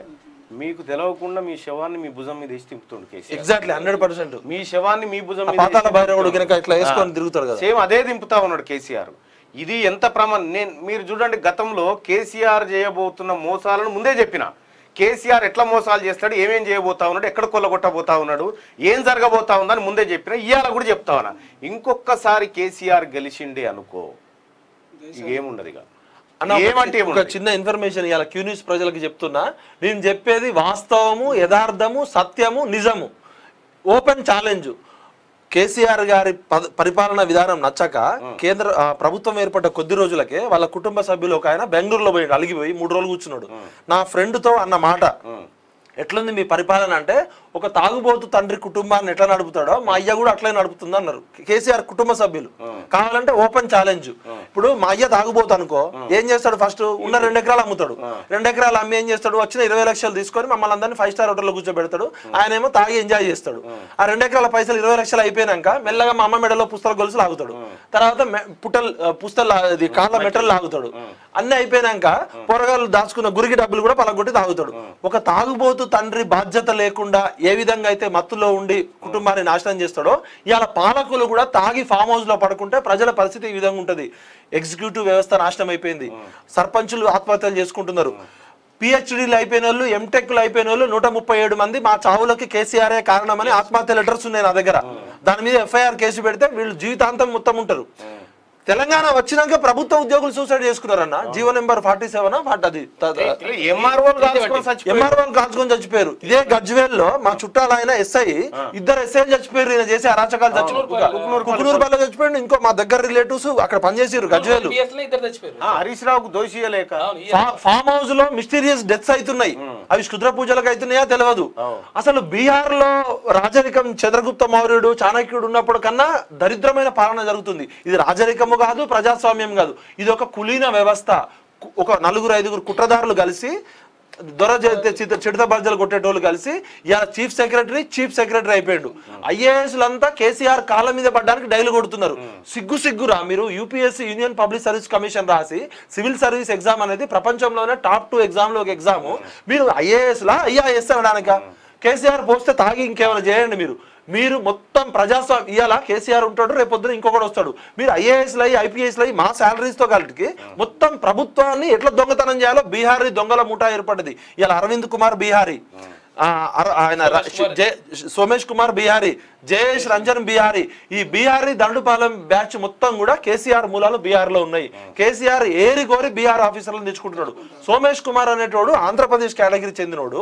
ఇల్లీగల్గా ఇక్కడ మొత్తం సర్వీస్ అయిపోయి ఈయన కేసీఆర్ కున్న అడ్వైజర్లు అందరూ కూడా బీహారీలో పెత్తనం ఉంది. ఇంటి పనికైనా మట్టి మట్టి పనికైనా ఇంటి మనిషి ఉండాలనేది ఒక సామెత. ఇవాళ తెలంగాణ అనే ఒక సెంటిమెంట్ ఎమోషనల్ ముసుగులో బీహారీ దండుపాలెం బ్యాచ్ వచ్చి ధనిక రాష్ట్రం ఆరు వేల కోట్ల మిగులు పదహారు వేల కోట్ల మిగులుతో ఏర్పడ్డ తెలంగాణ రాష్ట్రము. అరవై సంవత్సరాల్లో డెబ్బై వేల కోట్ల అప్పు ఉంటే ఉమ్మడి ఆంధ్రప్రదేశ్లో ఇవాళ తొమ్మిదేళ్ళ పాలనలో దాదాపు ఐదు లక్షల కోట్ల అప్పు దాటింది. ఎఫ్ఆర్బిఎం రూల్స్కు నేను చెప్పే పిట్ట కథ కాదు మల్లన్న చెప్పే కథ కాదు. FRBM site RBI site open చేసి చూడండి. Four point five percent two point five percent దాటిపోయింది. హయ్యెస్ట్ అప్పులు ఇవాళ ట్రాన్స్కో జెన్కో ఓపెన్ ఛాలెంజ్ కేసీఆర్ వస్తాడా కేటీఆర్ వస్తాడా జగదీశ్వర్ వస్తాడా? కరెంటు తీగలు కూడా కుదరబెట్టిరన్న? సబ్ స్టేషన్లు కూడా పెట్టిరు సబ్ స్టేషన్లు కరెంటు తీగలు కరెంటు పోల్లు కూడా పెట్టిరు అసలు ఏం లేదు. ఇప్పుడు ఇప్పుడు ఎట్లయిందంటే మనకి మత్తు మంది ఇస్తున్నారు మన వెనక మత్తు మంది ఇచ్చి మన బిర్రలు కోసి మనకే పెడుతుర్రు. అది తెలవట్లేదు తెలంగాణ ప్రజలారా. మన శరీర భాగాలు కోసి మనకి మత్తు మంది మనకే. Anaesthesia doctor. Anaesthesia doctor. ప్రజలందరికీ నాలుగు కోట్ల మందికి నాలుగు కోట్ల మందికి మత్తు ఇంజెక్షన్ కొడుతున్నాడు అంతే మన కిడ్నీ మాయం చేస్తాడు మన లివర్ ఇప్పుడు మత్తు దిగి మత్తు దిగకుండా కాపాడుతుడు. మత్తు దిగినాక మీకు పిల్లల నొప్పి తెలుస్తుంది అప్పుడు. సచ్చుడే ఏం లేదు తెలంగాణ రాష్ట్రంలో. అన్న ఇంకొకటి మొన్న కాకినాడ పోర్టు నవయుగ పోర్టు నుంచి ఇరవై ఏడు వేల కోట్ల డ్రగ్స్ వచ్చినాయి. ఇప్పుడు ఐదు వేలు ఐదు వందలు ఇస్తున్నారు సారా సీసా ఇస్తున్నారు కదా. అవసరమైతే యూత్కి డ్రగ్స్ కూడా ఇస్తారు వీళ్ళు ఎలక్షన్లలో. ప్రజలారా జాగ్రత్త. మీ పిల్లలు తినే చాక్లెట్లలో కేకులలో కూడా డ్రగ్స్ వస్తున్నాయి. ఇలా హైదరాబాద్లో కాన్స్క్యూ బేకరీ అని ఉంది. బర్త్డే పార్టీలలో ఎనిమిదో తరగతి వాళ్ళు తొమ్మిదో తరగతి వాళ్ళు నాన్ ఆల్కహాలిక్ పార్టీలు పబ్బులలో ఎందుకు చేసుకుంటారండి? హైదరాబాద్లో నలభై రెండు పబ్బులలో నాన్ ఆల్కహాలిక్ పార్టీ పేరుతో ఇంటర్మీడియట్ టెన్త్ క్లాస్ పిల్లలకి డ్రగ్స్ మెల్లమెల్లగా అలవాటు చేస్తున్నారు. ఒక కాన్క్యూ బేకరీలో నాకు తెలిసిన ఫ్రెండ్ వాళ్ళ కొడుకు వెళ్తే రెండు వేల ఐదు వందలు కేజీ అట. మినిమం హై లెవెల్ వాళ్ళకే అమ్ముతారట వాళ్ళు. అంటే డ్రగ్స్ ఇచ్చి కూడా ఓటర్లని కొనే ప్రమాదం ఉంది. దయచేసి ఆలోచించండి. కేసీఆర్ గారు కేటీఆర్ గారు పదే పదే ఒక మాట చెప్తున్నారు. మేము ఖచ్చితంగా వంద సీట్లు గెలుస్తామని. లాస్ట్ టైమే ఇరవై ఐదు లక్షల ఓట్లు తీసేసిండు రజత్ కుమార్ అనే వ్యక్తి. ప్రజాస్వామ్య వ్యవస్థలో ఒక్క ఓటుతోటి ఎమ్మెల్యే అయ్యేటోడు ఓడిపోతాడు గెలుస్తాడు. ఇదే కేటీఆర్ అమెరికా నుంచి వచ్చి నూట ముప్పై రెండు పోస్టల్ బ్యాలెట్ ఓట్లతో గెలిచిండు. దాని పెరు లోగుట్టు పెరుమాల గెలక నాకు తెలుసు కేకే మహేందర్ రెడ్డికి తెలుసు కేటీఆర్కి తెలుసు. మరి రజత్ కుమార్ అనే ఎలక్షన్ ఆఫీసరు ఇరవై ఐదు లక్షల ఓట్లు తీసేసి ఏ విధంగా సారీ చెప్తాడు? కేంద్ర ప్రభుత్వం ఏం చేస్తుంది? సెంట్రల్ ఎలక్షన్ కమిషన్ ఏం చేస్తుంది? ఇరవై ఐదు లక్షల ఓట్లు పెద్ద దొంగ రజత్ కుమార్ అంటే. వానికి ఆడ వికారాబాద్ కాడ మొన్న ఏది ఆ గోల్ఫ్ ఉంటదిగా అందులో విల్లా చూడాలి వాని విల్లా. రెండు వందల కోట్లన్న వాడికి ఇరవై ఎకరాలు ఇచ్చారు గిఫ్ట్. ఒక షాద్ నగర్ కాడ వాని మామ పేరు మీద వాని పేరు మీద వాని భార్య పేరు మీద తక్కువ భూములా? వాడికి ఏం చేసిర్రు? రజత్ కుమార్ అనే ఆఫీసర్కి మన తర్వాత రిట- రిటర్న్ గిఫ్ట్ ఇవ్వాలి కదా. ఇరవై ఐదు లక్షల ఓట్లు తీసేసినందుకు. మనం ఇప్పుడు బర్- బర్త్డే పార్టీ వస్తే రిటర్న్ గిఫ్ట్ ఇస్తాం కదా. అట్లా ప్రిన్సిపల్ సెక్రటరీ ఇరిగేషన్ ఇచ్చారు. ఇచ్చి రెండు వందల కోట్ల రూపాయల ల్యాండ్ ఇచ్చారు ఇప్పుడు ఇవాళ మొత్తం ఇరిగేషన్ టెండర్స్ సాఫ్ట్వేర్ కూడా గోల్మాల్. మొత్తం. ఇప్పుడు ఎవడు వేసినా కూడా వెలకే వెళ్తుంది. ఈ బీహార్ నేను చెప్తు నేను నేను చెప్పేది సత్యము వాస్తవము యథార్థము నిజము. కళ్ళతో చూసింది ప్రూఫ్తో ఇచ్చింది నేను సెంట్రల్ గవర్నమెంట్కి నేను స్వయానా ఇచ్చిన అన్న. నేను స్వయానా ఈ దొడ్డుపాలెం బ్యాచ్ చేసేది జిహెచ్ఎంసీ ఎలక్షన్స్ అప్పుడు ఇన్ని డాక్యుమెంట్స్ ఇచ్చిన. అవును అవును. తరుణ్ చుక్కుకి ఇచ్చిన భూపేందర్ యాదవ్ గారికి ఇచ్చిన అమిత్ షా ఆఫీస్కి ఇచ్చిన మరి మీరు ఏం చేస్తున్నారు? ఇప్పుడు ఇక్కడ ఏ వాళ్ళు వీళ్ళంతా ఒక తీరుగానే కనిపిస్తారు కానీ ఒకటి తెలంగాణ రాష్ట్రం ఆంధ్రోళ్ళ చేతులకి వెళ్ళి బీఆర్ వాళ్ళ చేతిలో పడ్డది. ఎగ్జాక్ట్లీ తెలంగాణ రాష్ట్రం రాలే ఇంకా. తెలంగాణ రాష్ట్రం రాలే. ఆంధ్రోళ్ళ చేతులకి ఇడిపోయి బీహార్ చేతిలో పడ్డది. అంతే తేడా. మరో పోరాటం జరగాల్సిందే విముక్తి లేకపోతే ఈ తరాలు ఉండే నాశనం అయిపోతాయి. కూర్చో గౌడ్ సాబ్ అట్లా కూర్చో. అట్లా కూర్చోపో ప్రజలకి మీరు ఒక విజ్ఞప్తి చేయాలన్న ఓటు అనే ఆయుధంతో ఇక దంచాల్సిందే దించాల్సిందే. అంతే అంతకు మిక్కిలి ఏం లేదు. సింగరేణిలో ఎన్నికల నగార? ఇప్పటిదాకా అనుకున్నాం. చింతల్ బస్తీలో మొసలి హైదరాబాద్ చింతల్ బస్తీ నాలాలో బుధవారం మొసలి కనిపించింది. దాన్ని చూసిన జనం ఆందోళనకు గురయ్యారు. అటవీ శాఖ జిహెచ్ఎంసీ అధికారులు వచ్చి చాలా సేపు గాలించి మొసలిని పట్టుకొని. ఒక్క ఒక్క ముసలి వస్తే అది అది ఎంతమందిని తింటదా కరుస్తుందా? ముసలి వస్తే భయపడి జనం అంతా ఆందోళనకు గురయ్యారు కదా. ఈ ముసలి కంటే ఎక్కువ కాదా కేసీఆర్? చాలా డేంజర్ ఈ కరోనా పురుగు కంటే డేంజరా కేసీఆర్? దాని దగ్గరికి పోతేనే ఏమైనా చేస్తుంది ఇది ఆ? మొసలి. కే ఈ- ఈ ముసలికే భయపడతా ఉంటే ఈయన సంగతి ఏంది? కేసీఆర్ అనేటువంటి వ్యక్తి ఈ ముసలి కంటే లక్ష రెట్లు ఎక్కువ భయంకరమైన ప్రతి ఊర్లో విధవరాండ్రు టాటా ఇన్స్టిట్యూట్ ఆఫ్ సోషల్ సైన్స్లో ఒక రీసెర్చ్ చేసిరన్న ఈ పదేళ్ళలో ఇరవై ఐదు నుంచి నలభై ఏళ్ళలో విధవరాండ్రు ఎక్కువైన తాగుడు వల్ల మొగుళ్ళు ఏమో చనిపోతున్నారు. మొగుళ్ళు చనిపోయినాక విధవరాండ్ర సంఖ్య ఎక్కువ ఉన్నది తెలంగాణ రాష్ట్రంలో. ఏమంటాడు? భర్త లేని వాళ్ళకి పింఛన్ ఇస్తున్న ప్రభుత్వం భర్తనే లేకుండా చేసిన దొంగ వీడు. కుటుంబం మొత్తం కోల్పోతుంది. భర్తనే లేకుండా చేసి వానికి తాగిపిచ్చి మళ్ళా ఈ ఆర్గాన్ ఏది ఇవి ఉన్నాయి కదా ఇవి ట్రాన్స్ప్లాంట్ ఎక్కువ చేసినాం మేము అని చెప్తాడు. ఎందుకు చేసినావు? తాగి. ఎగ్జాక్ట్లీ తాగిపిచ్చి తాగిపిచ్చి దేశంలోనే నెంబర్ వన్ అని చెప్తాడు. సిగ్గు లేకుండా హరీష్ రావు ఇంకా.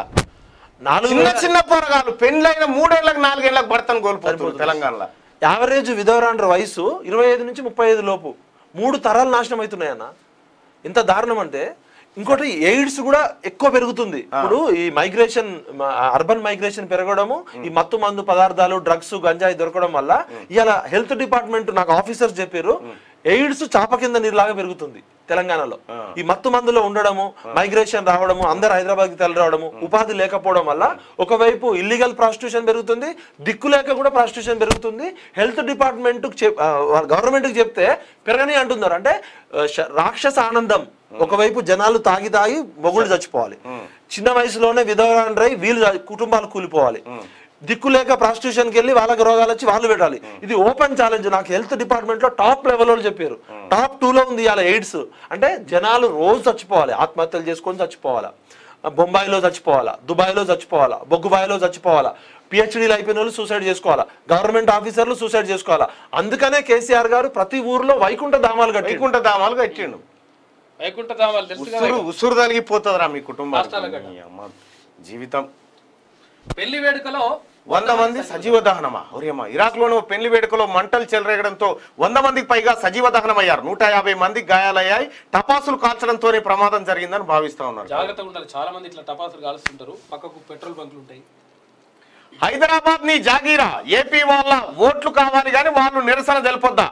కేటీఆర్ పై రేవంత్ ఫైర్. పన్నులు కట్టించుకొని పక్క రాష్ట్ర అంటే పళ్ళు రానగొడతారు మైనపల్లి కుటుంబానికి రెండు టికెట్లు ఇస్తాం. బీసీలకు వీలైనన్ని ఎక్కువ సీట్లు కేటాయిస్తామని హామీ. వీలైనన్ని ఏంది అసలు ఆయన వాటా? ఏమన్నా- అదేమన్నా రాజరికమా? ఆయన ఏమన్నా చక్రవర్త? ఆ. స్టేట్మెంట్ ఏంది? మైనంపల్లి కుటుంబానికి రెండు టికెట్లు ఇస్తారట బీసీలకి మాత్రం వీలైన. ఈ- ప్రజాస్వామ్య వ్యవస్థలో ఉన్నామా మన? రాజరికంలో ఉన్నామా? మనుషులు కాదు ఇక బీసీలు అంటే అన్న నాకు Congress party manifesto committee chairman intellectual cell chairman మా ప్రొఫెసర్ రాజీవ్ గౌడ. ఆయన డిక్లేర్ చేసింది ఉదయపూర్ డిక్లరేషన్. ఉదయపూర్ డిక్లరేషన్ ఏంటంటే ఇప్పటికే కాంగ్రెస్ పార్టీలో నయా జాగీర్దారులు జమీందారులు రెడ్లు దేశ్ముఖ్లు వచ్చి ఉన్నారని రాహుల్ గాంధీ స్వయంగా డిక్లరేషన్ ప్రతి పార్లమెంట్ కాన్స్టిట్యున్సీ ఏడు ఏడు ఉంటే మినిమం రెండు ఖచ్చితంగా ఇవ్వాలని కాంగ్రెస్ పార్టీ తనకు విజించుకున్న తన ఇంటర్నల్ రాజ్యాంగం. ఆ లెక్క చూసినా కూడా ముప్పై నాలుగు సీట్లు ఖచ్చితంగా ఇవ్వాలి. యాభై శాతం చెప్తా ఉన్నాం. బీసీలకు గనుక అన్యాయం జరిగితే. వదిలిపెట్టే ముచ్చటే లేదు. వదిలిపెట్టే కాళ్ళ గజ్జలు కట్టుకొని తిరుగుతాం. ఎట్టి పరిస్థితులు వదిలిపెట్టాలి రాష్ట్ర వ్యాప్తంగా ఏదైతే భాష ఏందన్న? ఆయన ఎవరు ఇచ్చేటోడు జనం తీసుకునేటోళ్ళు. యాభై ఐదు శాతం పైగా ఉన్నది జనాభా. జనాభా బీసీలారా మనము మనం- ఓట్లు మనకు మన ఓట్లు మన దగ్గరనే ఉన్నాయి. మన కట ఎన్నో శాతనైన కాడికి ఇస్తారట ఏదో దయజల్ దయదలిచి. దానము ధర్మం ఇస్తారట ఇస్తారట మనకు. ఇలా పార్టీలు పీటీలు ఏం లేవు. ఏ పార్టీ అయినా కానీ బీసీలకు అన్యాయం చేస్తే నేను ఓపెన్గా రేవంత్ రెడ్డికి కాంగ్రెస్ పార్టీ హైకమాండ్కి చెప్తున్నా. మేము ఇవాళ తెలంగాణ ప్రజల్లో బీసీలము బ్యాక్వర్డ్ క్లాసెస్ కాదు. We are owners of this Telangana. మేము. వీలైనన్ని సీట్లు రెడ్లకి వెలమలకి కమలకి ఇస్తాం అంతే మేమెంతో మీరు మీరే మీరు ఎంత ఉన్నారు రెడ్లు ఫైవ్ టు సిక్స్ పర్సెంట్ ఉంటే మీ ఫైవ్ పర్సెంట్ వచ్చే బాధ్యత జిమ్మేదారి మన ఇద్దరం మాది. తీసుకున్నాము. అదే విధంగా వెలవలు zero point zero four percent ఉంటే వాళ్ళకు కూడా న్యాయం చేస్తాం. ఆ, ఓ ఐదారు ఓడేయాలంటున్నా ఇప్పుడు మూడు కులాలు మూడు కుటుంబాలు అన్న రేవంత్ రెడ్డి గారు బీసీలకు వీలైనన్ని ఎక్కువ సీట్ మేము కూడా వీలైనన్ని కొన్ని ఓట్లు. వాళ్ళకి న్యాయం చేద్దాం. మనం అన్యాయం చేద్దాం అలాగా. నేనేమంటున్నా దామాషా ప్రకారం. బీసీలకు వీలైన ఎక్కువ సీట్లు ఇస్తే వీలైనన్ని ఎక్కువ అంటున్నారు కదా బీసీలు కూడా కాంగ్రెస్ పార్టీకి వీలైన కొద్దిగా గొప్ప ఓట్లు వేస్తే సరిపోతుందా? అందరే అన్న మరి మాట చెప్పు. అదే చెప్పాలి. రేవంత్ రెడ్డి ఇప్పుడు ఆయన రెడ్ల ఓట్లతో గెలుస్తాడా? ఆ. రేవంత్ రెడ్డి గారు మీరేందో మీకు తెలుసు మాకు తెలుసు. ఒక తెలంగాణ వాదిగా నేను రిక్వెస్ట్ చేస్తున్నా డిమాండ్ చేస్తున్నా. ఈ రెడ్డి దొరల పోకడలు పోయినాం అనుకో నీ మొత్తం డిఎన్ఏ ఆర్ఎన్ఏతో సహా తీస్తాం గుర్తుపెట్టుకో. ఇవాళ కేసీఆర్ చెడ్డోడు అని చెప్పి మిమ్మల్ని మేము సపోర్ట్ చేస్తుంటే మీరు ఏమనుకుంటున్నారు మేము ఇక ప్రజలకు దిక్కు లేదు మేమే గెలుస్తాం మేమే alternate అన్న. అహంకారం ఉండదు. రేవంత్ రెడ్డి అన్న నువ్వు నాకు బాగా క్లోజ్ నేను రిక్వెస్ట్ చేస్తూ ఒక తమ్ముడుగా రిక్వెస్ట్ చేస్తున్నా డిమాండ్ చేస్తున్నా. అహంకారం ఎక్కడ ఉంటుందో అంధకారం అక్కడ ఉంటది ఇక కేసీఆర్ కచరా పాలన అయిపోయింది ఇక దిక్కు లేదు నన్నే మైనంపల్లి కుటుంబానికి రెండు టికెట్లు ఇస్తాం. అసలు ఎవడైనా కుమార్ అనిల్ కుమార్ రెడ్డిని పట్టుకొచ్చేస్తాం అట్లా అది అది కనిపించాలి బీసీలకు ఇచ్చేటప్పుడు సర్వే చేస్తున్నాం. సర్వే. వెళ్తలేదు కమ్యూనిటీ ఏంది? వెలమ కమ్యూనిటీ. ఆయన ఓ- ఓట్లు ఎంత? Zero point zero four percent. ఒకవైపు కేసీఆర్ గారు పదకొండు పద్నాలుగు సీట్లు ఇస్తాడు. ఎమ్మెల్సీ సీట్లు ఇస్తాడు. మైనం ఆ, ఎర్రబల్లి దయాకర్ రావు వాళ్ళ పార్టీలో మినిస్టర్ ఉంటాడు. వాళ్ళ అల్లుడు కాంగ్రెస్ పార్టీలో ఎర్రబల్లి మదన్ మోహన్ కాంగ్రెస్ పార్టీలో ఎమ్మెల్యే అవుతాడు. వాళ్ళ తమ్ముడు ఎర్రబల్లి ప్రదీప్ రావు వరంగల్ ఈస్ట్ నుంచి బీజేపీ నుంచి వస్తాడు. Zero point zero four percent లేని కుటుంబం నుంచి వచ్చిన ఆయన ఒక ఆయన మినిస్టర్ ఉంటాడు వాళ్ళ బిడ్డనిచ్చిన అల్లుడేమో కాంగ్రెస్ పార్టీలో టికెట్ ఎమ్మెల్యే అవుతాడు వాళ్ళ తమ్ముడేమో ఎర్రబల్లి ప్రజరావు బీజేపీ పార్టీ. ఈ పార్టీలు అన్నిటి బిజినెస్ డిస్ట్రిబ్యూషన్ తీసుకున్నారు ఒక ఆయన ఏమో సిఎండ్ఎఫ్ ఏజెంట్ తీసుకుంటాడు మన కేఎఫ్సి ఏజెంట్ తీసుకున్నట్టు. డీలర్ మళ్ళా వాళ్ళ కులపోడే మళ్ళీ రిటైలర్ కూడా వాళ్ళ కులపోలే మా ఖమ్మం జిల్లా పాలిటిక్స్లో అన్ని కులాలు ఖమ్మంలో ఉంటాయి. అయితే తిన్మార్ మల్లన్న నువ్వు బీసీల గురించి మాట్లాడుతున్నావు వెలమల్ని ఇబ్బంది పెట్టేలా మాట్లాడుతున్నావు రాయకల్ పోలీస్ స్టేషన్లో వెలమలు పోయి నా మీద కంప్లైంట్ నా బొత్సు వీక్కోరి. నారదీస్తాం బీసీలను అవమానిస్తే. ఏం బీసీల అనగాళ్ళక కనిపిస్తురా మీరు. Majority people? బాబు. అరవై శాతం ఓట్లు అరవై శాతం ఉన్నటువంటి మేము కింద బిచ్చగాల లెక్క బతకాలి.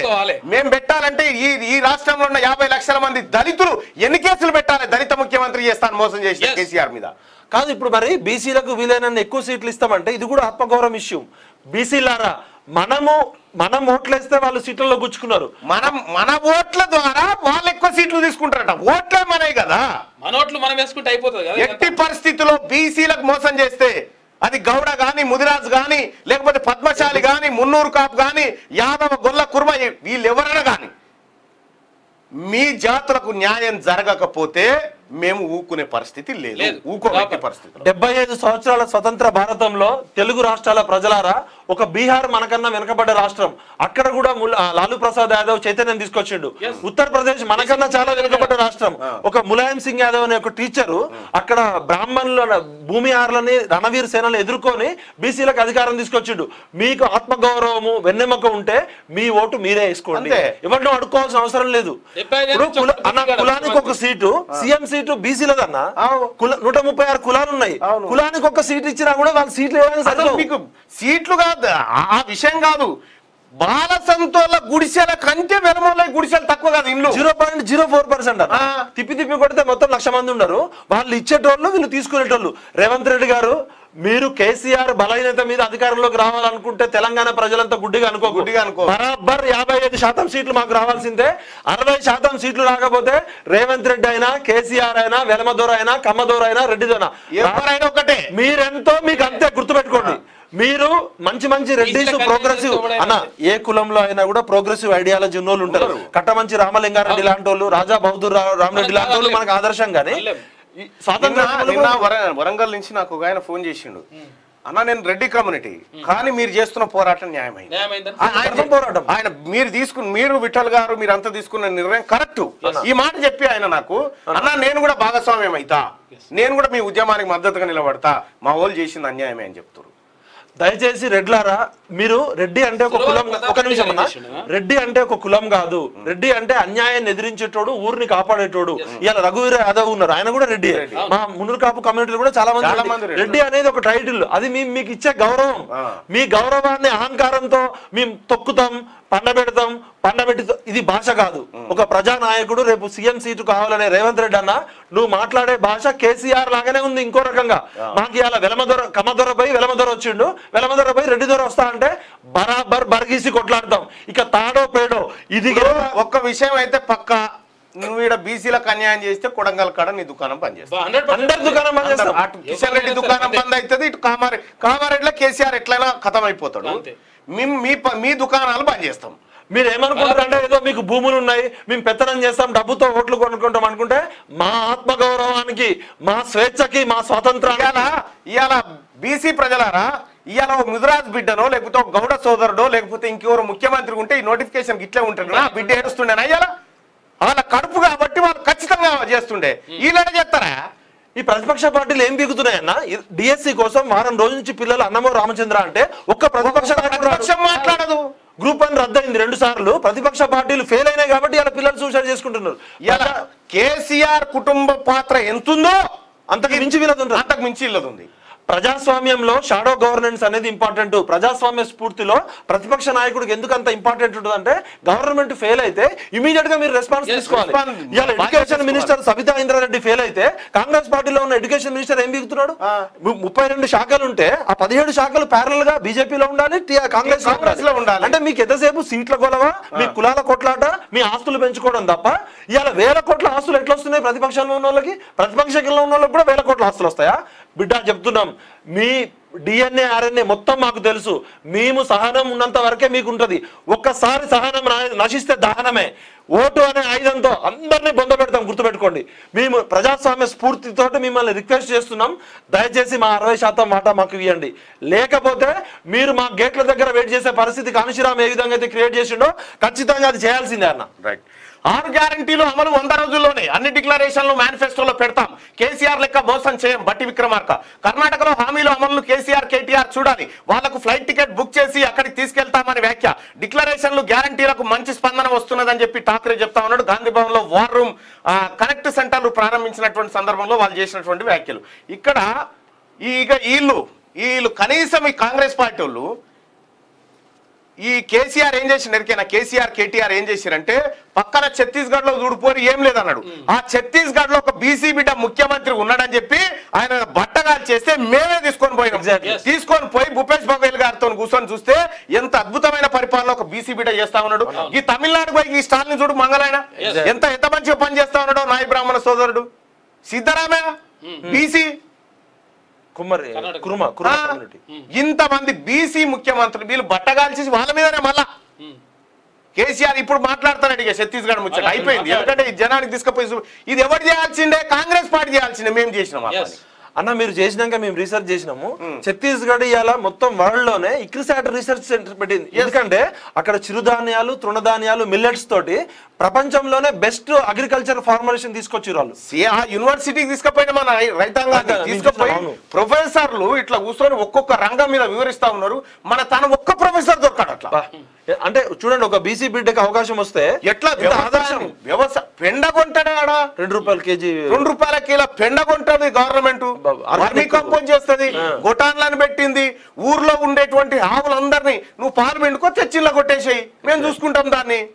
అసలు ఎంత సేంద్రియ వ్యవసాయము అన్న యాక్చువల్గా దక్కన్ డెవలప్మెంట్ సొసైటీ అనేది యాభై సంవత్సరాల క్రితమే మన దక్కన్ ప్లాటూలో పండే పంటలు చిరుధాన్యాలు తృణధాన్యాలు రాగులు సజ్జలు కొర్రలు ముప్పై రెండు రకాలు ఇక్రిసాట్ రీసెర్చ్ సెంటర్ ఇక్కడ ఉంటే మన దగ్గర జరిగిన దాన్ని ఛత్తీస్గఢ్ గవర్నమెంట్ తీసుకొని ఇంప్లిమెంట్ చేసి ప్రపంచం మొత్తానికి సక్సెస్ చేసింది. మన దగ్గర ఉన్న ఏమో తెలియదు కొండా లక్ష్మణ్ బాపూజీ జయంతిని బుధవారం రాష్ట్ర వ్యాప్తంగా ఘనంగా నిర్వహించారు. హైదరాబాద్లోని రవీంద్ర భారతి జలదృశ్యంలో నిర్వహించిన వేడుకల్లో వివిధ పార్టీల నాయకులు పాల్గొని లక్ష్మణ్ బాపూజీకి నివాళులర్పించారంటూ ఒక వార్త. ఇక స్టూడెంట్లను కొరికిన ఎలుకలు. వైరా రెసిడెన్షియల్ స్కూల్లో ఘటన సీక్రెట్గా ట్రీట్మెంట్ ఇప్పించిన ప్రిన్సిపాల్ విషయం బయటకు రావడంతో డీఈఓ విచారణ. ఆ టైంలో డీఈఓకు కనిపించిన ఎలుకలట. కేటీఆర్ మనవాడు కొడుకేమో నలభై లక్షలు పాకెట్ మనీ ఇచ్చే స్కూళ్ళల్లో స్కూల్లో చదువుతాడు. మన పోయిగో మన మన ఊరు మన బడి ఎలుకలు కొరుకుతాయి? బడి పొరగాలని మన పొరగాలని ఎలుకలు ఎలుకలు కొరుకుతాయి. ఈయనకి ఈయననేమో కుక్కలు చింపుతా ఉంటాయి. కుక్కలు చంపేస్తాయి. కుక్కలు చంపేస్తా ఉంటాయి. బండ్లలోనే ఎలుకలు. ఇదా? అగో. ఎలుకలు చూపిస్తున్న చూడండి సిబ్బంది. వైరక్కడ. ఈ ఎమ్మెల్యేలు మంత్రుల కొడుకులకు లేకపోతే వాళ్ళ పిల్లలకు ఇట్లా కొడుతున్నారు ఎలుకలు? వాళ్ళ ఇళ్ళల్లో కూడా ఈ ఈ- ఈ ఈ పాలకులకు లాగుల తొండలు ఇడిస్తే బాగుండు.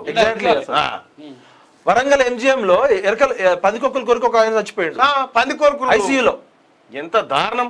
మణిపూర్లో మళ్ళీ హింస. ఇంపాల్లో స్టూడెంట్స్ రారి. అడ్డుకున్న పోలీసులు లాఠీ చార్జ్. టియర్ గ్యాస్ ప్రయోగం. నలభై ఐదు మంది గాయాలు. పలువురు పరిస్థితి విషయం మరో ఆరు నెలలు ఆస్పా చట్టం పొడగింపట అక్కడ. ఇక టెట్లో ఎనభై నాలుగు శాతం ఫెయిల్. దారుణంగా తగ్గిన పేపర్ టూ ఉత్తీర్ణత శాతం. పేపర్ వన్లో ముప్పై ఆరు శాతం పేపర్ టూలో పదిహేను శాతం మాత్రమే క్వాలిఫై. డిఎస్సి ముందు టెట్ టఫ్గా ఇవ్వడంపై అభ్యర్థుల ఆందోళన.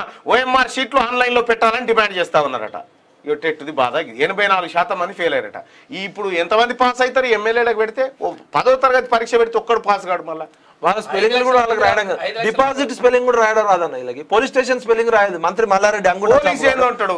పోలీస్ స్పెల్లింగ్ ఏంది అని అంటాడు. ఇంకా పోయట మల్కాజ్ గిర్లా మల్కాజ్ గిర్లా నా అల్లుడు గెలి నీ లొడపీస్ గెలుస్తావు నువ్వు నువ్వు అల్లుడు మళ్ళీ గెలి ఈ మంత్రులు ముఖ్యమంత్రులు ఒక్కడు వంద అడుగులు నడవలేడు. నడవలేడు. రైట్గా నడవమంటే నడవలేడు ఒక్కడు కూడా. తాడు మీద. ముఖ్యమంత్రి అయితే పది అడుగులు కూడా వేయలేడు. ఆ. మొన్న మహారాష్ట్రలో ఇట్లా తూలుతూ ఊగుతున్నాడు మొత్తం. మోదీకి టీ టీ ఇచ్చిన రోబో. అచ్చా tea tea. Vibrant Gujarat summit ఇరవై వార్షికోత్సవంలో భాగంగా సైన్స్ సిటీలో ఏర్పాటు చేసిన ఎగ్జిబిషన్ ప్రధాని నరేంద్ర మోడీ బుధవారం ప్రారంభించారు. రోబోటిక్ గ్యాలరీ నేచర్ పార్క్ను సందర్శించారు. ఈ సందర్భంగా మోడీకి ఓ రోబో టీ ఇచ్చింది. ఆ ఫోటోలను ఆయన ఇన్స్టాగ్రామ్లో పోస్ట్ చేశారు. గుజరాత్ సైన్స్ సిటీలో రోబోటిక్ గ్యాలరీ ఎంతగానో ఆకట్టుకుంది. రోబో మాకు టీ ఇచ్చిన ఫోటోను అస్సలు మిస్ కావద్దంటూ దాని క్యాప్షన్ పెట్టిరట. రోబోనే బెటర్ ఉంది. చాలా బెటర్ అన్న. ఇట్లాంటి పాలకుల కన్నా. ఇప్పుడు రాజ్యాంగం మొత్తం లోడ్ చేస్తే రాజ్యాంగం ప్రకారం పాలన చేస్తుంది. రాజ్యాంగంలో ఉన్న తూచా తప్పకుండా ఎంత తూచా తప్పకుండా ఉంటుంది. సరిగా ఆంధ్రజ్యోతిలో ఉన్నటువంటి వార్తలు చూద్దాం. గోల్డెన్ షూట్ ఆ, పథకంతో ఈషా సింగ్ అంటూ వార్తను చూస్తా ఉన్నాం. షూటింగ్లో రెండు స్వర్ణాలు సహా ఏడు పథకాలు. సమ్రా స్విఫ్ట్ కోర్ రికార్డు గురి. తెలుగు అమ్మాయి ఈషా సింగ్ డబుల్ ధమాకా. సెయిలింగ్లో విష్ణుకు కాంస్యం. ఒకే రోజు భారత్ ఖాతాలో ఎనిమిది మెడల్స్ వచ్చినాయి. తొమ్మిది బంతుల్లో యాభై ముప్పై నాలుగు బంతుల్లో వంద. నేపాల్ బ్యాటర్ల దీపేంద్ర. కుశాల్ విధ్వంసం అట ఇరవై ఓవర్లో మూడు వందల పద్నాలుగు రన్స్ మూడు వికెట్. టీ ట్వంటీలో వరల్డ్ రికార్డులు అట తొమ్మిది బాల్స్లో యాభై కొట్టిండా? కొత్త కొత్తగా వచ్చి బాగానే చేస్తున్నారు. తొమ్మిది బాల్స్లో యాభై సాధ్యమవుతుందా అవుతుంది తొమ్మిది ఆరులో యాభై నాలుగు. ఆ, అంటే ఎనిమిది ఎనిమిది ఆరులో నలభై ఎనిమిది ఇంకో ఫోర్ ఆ. నోబులు సిక్సర్లు ఇంకా అవి ఉంటాయి కదా. అట్లా ఎనిమిది ఎనిమిది సిక్సర్లు కొడితే నలభై ఎనిమిది ఒక ఫోర్ కొడితే యాభై రెండు. గ్రూప్ వన్ ప్రిలిమ్స్ రద్దు సభపై సింగిల్ జడ్జి తీర్పును సమర్థించిన high court division bench. Notification ప్రకారం మళ్ళీ పరీక్ష నిర్వహించాల్సిందే. మొదటిసారి ప్రిలిమ్స్కు రెండోసారి యాభై వేల మంది తగ్గారు. అంటే యాభై వేల మంది అభ్యర్థుల విశ్వాసాన్ని టీఎస్పీఎస్సీ కోల్పోయింది. వారంతా భవిష్యత్తును కోల్పోయినట్లేగా తొలుత రెండు పాయింట్ ఎనిమిది మూడు లక్షల మందికి బయోమెట్రిక్ తీసుకున్నారు. రెండోసారి రెండు పాయింట్ మూడు మూడు లక్షల మందికి ఎందుకు తీసుకోలేదు? రాజ్యాంగబద్ధ సంస్థ వైఖరి ఎందుకు మారింది? అభ్యర్థులతో సమానంగా కమిషన్కు నోటిఫికేషన్ వర్తిస్తుంది. ఇంపార్సినేషన్కు అవకాశం ఉంది. పబ్లిక్ సర్వీస్ కమిషన్ తీరు తూర్పారబట్టిన హైకోర్టు. లాజిస్టిక్స్ మానవ వనరుల కొరత వల్లే అని చెప్పి టీఎస్పీఎస్సీ మేము పీకని మరి మానవ వనరుల కొరత ఉందని చెప్తాను కాదు ఇప్పుడు రిక్రూట్మెంట్ చేసే టీఎస్పీఎస్సీలనే ఎవరు ఉద్యోగులు లేరంటే ఇక పీకని కై ఉన్నది ఉన్నది ఎందుకు? అన్న ఇక్కడ నా స్వయంగా అనుభవం చెప్తున్నా. గ్రూప్ వన్ ఎగ్జామ్కి రెండు వేల తెలంగాణ రాకముందు నేను కూడా ప్రిపేర్ అయినా. ఒక గ్రూప్ వన్ అభ్యర్థి ప్రిపేర్ కావాలంటే ఆ కుటుంబం కనీసం ఒక మూడు సంవత్సరాల టైం డబ్బులు వెచ్చించాలి. వాస్తవం. నేను ఆర్సీ రెడ్డి స్టడీ సర్కిల్లో లక్ష ఇరవై ఐదు వేలు రెండు వేల ఆరులో అప్పుడే తెలంగాణ రాకముందే చదివినోడిని. గ్రూప్ వన్ ప్రిపేర్ అయినంటే ఉన్న ఉద్యోగాలు వందో వెయ్యో ఉంటే రెండు లక్షల నుంచి మూడు లక్షల మంది ప్రిపేర్ అవుతున్నారు. ఈ రెండు లక్షల ఎంతమంది? రెండు పాయింట్ మూడు మూడు లక్షల కుటుంబాల్లో ఒక గ్రూప్ వన్ ప్రిపేర్ అవుతుందంటే వాళ్ళ అమ్మ నాన్న వాళ్ళ అక్క చెల్లి తమ్ముడు కూడా మా వాడు గ్రూప్ వన్ అవుతాడు డిఎస్పీ అవుతాడు అని చెప్పి ఒక గ్రూప్ వన్ ప్రిపేర్ అయ్యేటోడికి ఐదుగురు సపోర్ట్ చేస్తారు. ఒక చెల్లి తన మెడలో ఉన్న బంగారం అమ్ముతుంది ఒక తల్లి తన పుస్తలు అమ్ముతుంది ఒక తండ్రి అప్పు చేస్తాడు. ఇవాళ గ్రూప్ వన్ ప్రిపేర్ అయ్యి ఆర్సీ ఆర్సీ రెడ్డి క్రాస్ రోడ్స్లో కనీసం ఒక యాభై ఇన్స్టిట్యూట్లు నడుస్తున్నాయి. అంటే దాదాపు రెండు పాయింట్ మూడు మూడు ఇంటూ ఐదుగురు అంటే ఎంత? పది లక్షల మందికి సంబంధించిన ఎగ్జామ్ గ్రూప్ వన్ అనేది రాష్ట్ర ప్రభుత్వంలో అత్యంత కీలకమైన ఎగ్జామ్ ఇవాళ యూపీఎస్సీ అనేది సివిల్ సర్వీస్ ఎట్లనో అలాంటిది ఒక జూనియర్ జాయింట్ కలెక్టర్ లాంటి ఎగ్జామ్ పెడుతుంటే బాధ్యత లేకుండా బరిదెగించిన బద్మాష్ గాళ్ళు లాజిస్టిక్స్ మానవ వనరుల కొరతన. ఇలా కేసీఆర్ ఫామ్ హౌస్ దగ్గర వంద మంది ఉంటారు. నేను కేసీఆర్ ఫామ్ హౌస్ అసలు చూద్దామని పోతే వంద రెండు వందల మంది ఉన్నారు పోలీసులు. ఆయన పోయి పోయేది ఒక్కసారే వారానికి. కేసీఆర్ ఇంటి ముందు రోడ్డును కబ్జా పెట్టి సిగ్గులేని ముఖ్యమంత్రి రెండు వందల మంది పోలీసులు ఉంటారు. కేసీఆర్ ఒక్కసారి సిటీలో ఒక రెండు కిలోమీటర్లు పోతే ఇరవై వెహికల్ ముందు పోతాయి. పోలీసు వాళ్ళంతా ఒక మూడు గంటలు పనిచేస్తారు. ఒక కేసీఆర్ మామూలు పర్యటనకు పోతేనే వెయ్యి మంది పనిచేస్తున్నారు. పది లక్షల రూపాయలు ఉట్టి ఖర్చు అవుతుంది ఇవాళ తెలంగాణ మొత్తాన్ని నాలుగు కోట్ల మందిని పరిపాలించాల్సిన గ్రూప్ వన్ ఎగ్జిక్యూటివ్ వ్యవస్థకి లాజిస్టిక్స్ మానవ వనరుల కొరత అని సిగ్గు లేకుండా చెప్తుంది. విషయం ఏంటంటే ఆ బయోమెట్రిక్కి కోటి యాభై లక్షలు ఖర్చు అవుతుంది ఆ పైసలు లేక దిక్కు లేక దివాలా తీసింది. సిగ్గుచేటురా మీరు తూ తూ తూ తూ తూ. విషయం- ఏంటంటే వెయ్యి రూపాయలు వసూలు చేసిన పైసలు ఎత్తుకపోయిండు సార్ ఎప్పుడో. పైసలు లేవు ఇప్పుడు ఈ నోటిఫికేషన్లు ఇస్తే వాళ్ళు పబ్లిక్ ఎవరు అభ్యర్థులు కడితే ఆ పైసలు తీసుకొని ఆ పింఛన్లో అవో ఇవో తీసుకుంటుండ్రు ఇప్పుడు రెండు పాయింట్ మూడు మూడు లక్షలు ఇంటూ వెయ్యి రూపాయలు మూడు లక్షల ఎనభై మూడు వేల మంది అప్లై చేసిండ్రు. రెండు లక్షల ఇరవై Biometric. ముప్పై మూడు వేల మంది పరీక్ష రాసిండ్రు Okay. మూడు లక్షల మంది వెయ్యి వెయ్యి కట్టిరు అంటే ముప్పై కోట్లు. ఎనభై మూడు వేల మంది. అయ్యే దగ్గర దగ్గర మూడు వందల కోట్లు అయితే కదా? ఏమంటున్నా మరి? అది ఎత్తుకపోయాడు. పోలీస్ డిపార్ట్మెంట్లో నూట ఎనభై కోట్లట. పోలీస్ కానిస్టేబుల్కి రెండు వేలు మూడు వేలు ఏదన్నా కరెక్షన్ చేసుకోవాలంటే అంటే నిరుద్యోగుల రక్తాన్ని దాగుతున్న రక్త పిచాచి ఇవాళ ఏ నిరుద్యోగులు ఉద్యోగాలు కావాలని తెలంగాణ వచ్చిందో కనీసం గ్రూప్ వన్ ఎగ్జామ్ రెండు సార్లు చేసిరంటే నిజంగా కూడా కోర్టులు ఉన్నాయి కాబట్టి ఇది బయటకు వచ్చింది కానీ ఇగో group one prelims three point four ఎన్నికల తర్వాతే. ఇప్పుడిప్పుడే నిర్వహించే ఇప్పుడిప్పుడే ని- ఇప్పుడప్పుడే నిర్వహించేందుకు నో ఛాన్స్ హడావిడిగా ప్రిలిమ్స్ టూ పాయింట్ తోనే సమస్యలు. అందుకే ఆచితూచి అడుగులేస్తున్న టీఎస్పీఎస్సీ నవంబర్లో గ్రూప్ టూ పరీక్షలు. డేట్స్ కష్టమే. డిసెంబర్లో ఎన్నికలు జరిగే అవకాశం జనవరి తర్వాతే ప్రిలిమ్స్ పరీక్షలు ఇప్పుడు నిరుద్యోగ యువకులారా కేసీఆర్ కేసీఆర్ కుటుంబం ఉద్యోగాలు పోతే తప్ప మీకు ఉద్యోగాలు రావు. ఇదే ఫైనల్. మీరు ఇట్లనే కూర్చుంటాం అట్లనే అంటే వెనక్కి మెగిపోతారు కథ. ఈ టూ ఈ సిగ్గు కనిపిస్తలేదా ప్రిలిమ్స్ మూడు సార్లు పెడతారా? ఒక ఒకటో ప్రిలిమ్స్ రెండో ప్రిలిమ్స్ మూడో ప్రిలిమ్స్. పన్నెండేళ్ళకి వచ్చిందిరా బాబు. అన్న. సింగరేణి ఎగ్జామ్ కరెక్ట్గా పెట్టలే ఎస్ఐ ఎగ్జామ్ కరెక్ట్గా పెట్టలే. ఎంసెట్ పేపర్ రెండు సార్లు లీక్ అయింది. ఇంటర్మీడియట్ ఎగ్జామ్ లీక్ అయి ముప్పై రెండు మంది పిల్లలు ఇంటర్మీడియట్ పరీక్ష వంద మార్కులు వచ్చినోడికి సున్నా మార్కులు వేస్తే ఇరవై ఆరు మంది చనిపోయారు. ఇరవై ఆరు మంది చచ్చిపోయారు. అదే నా కొడుకో కేటీఆర్ కొడుకో కవిత కొడుకో చచ్చిపోతే తెలిసేది బాధ.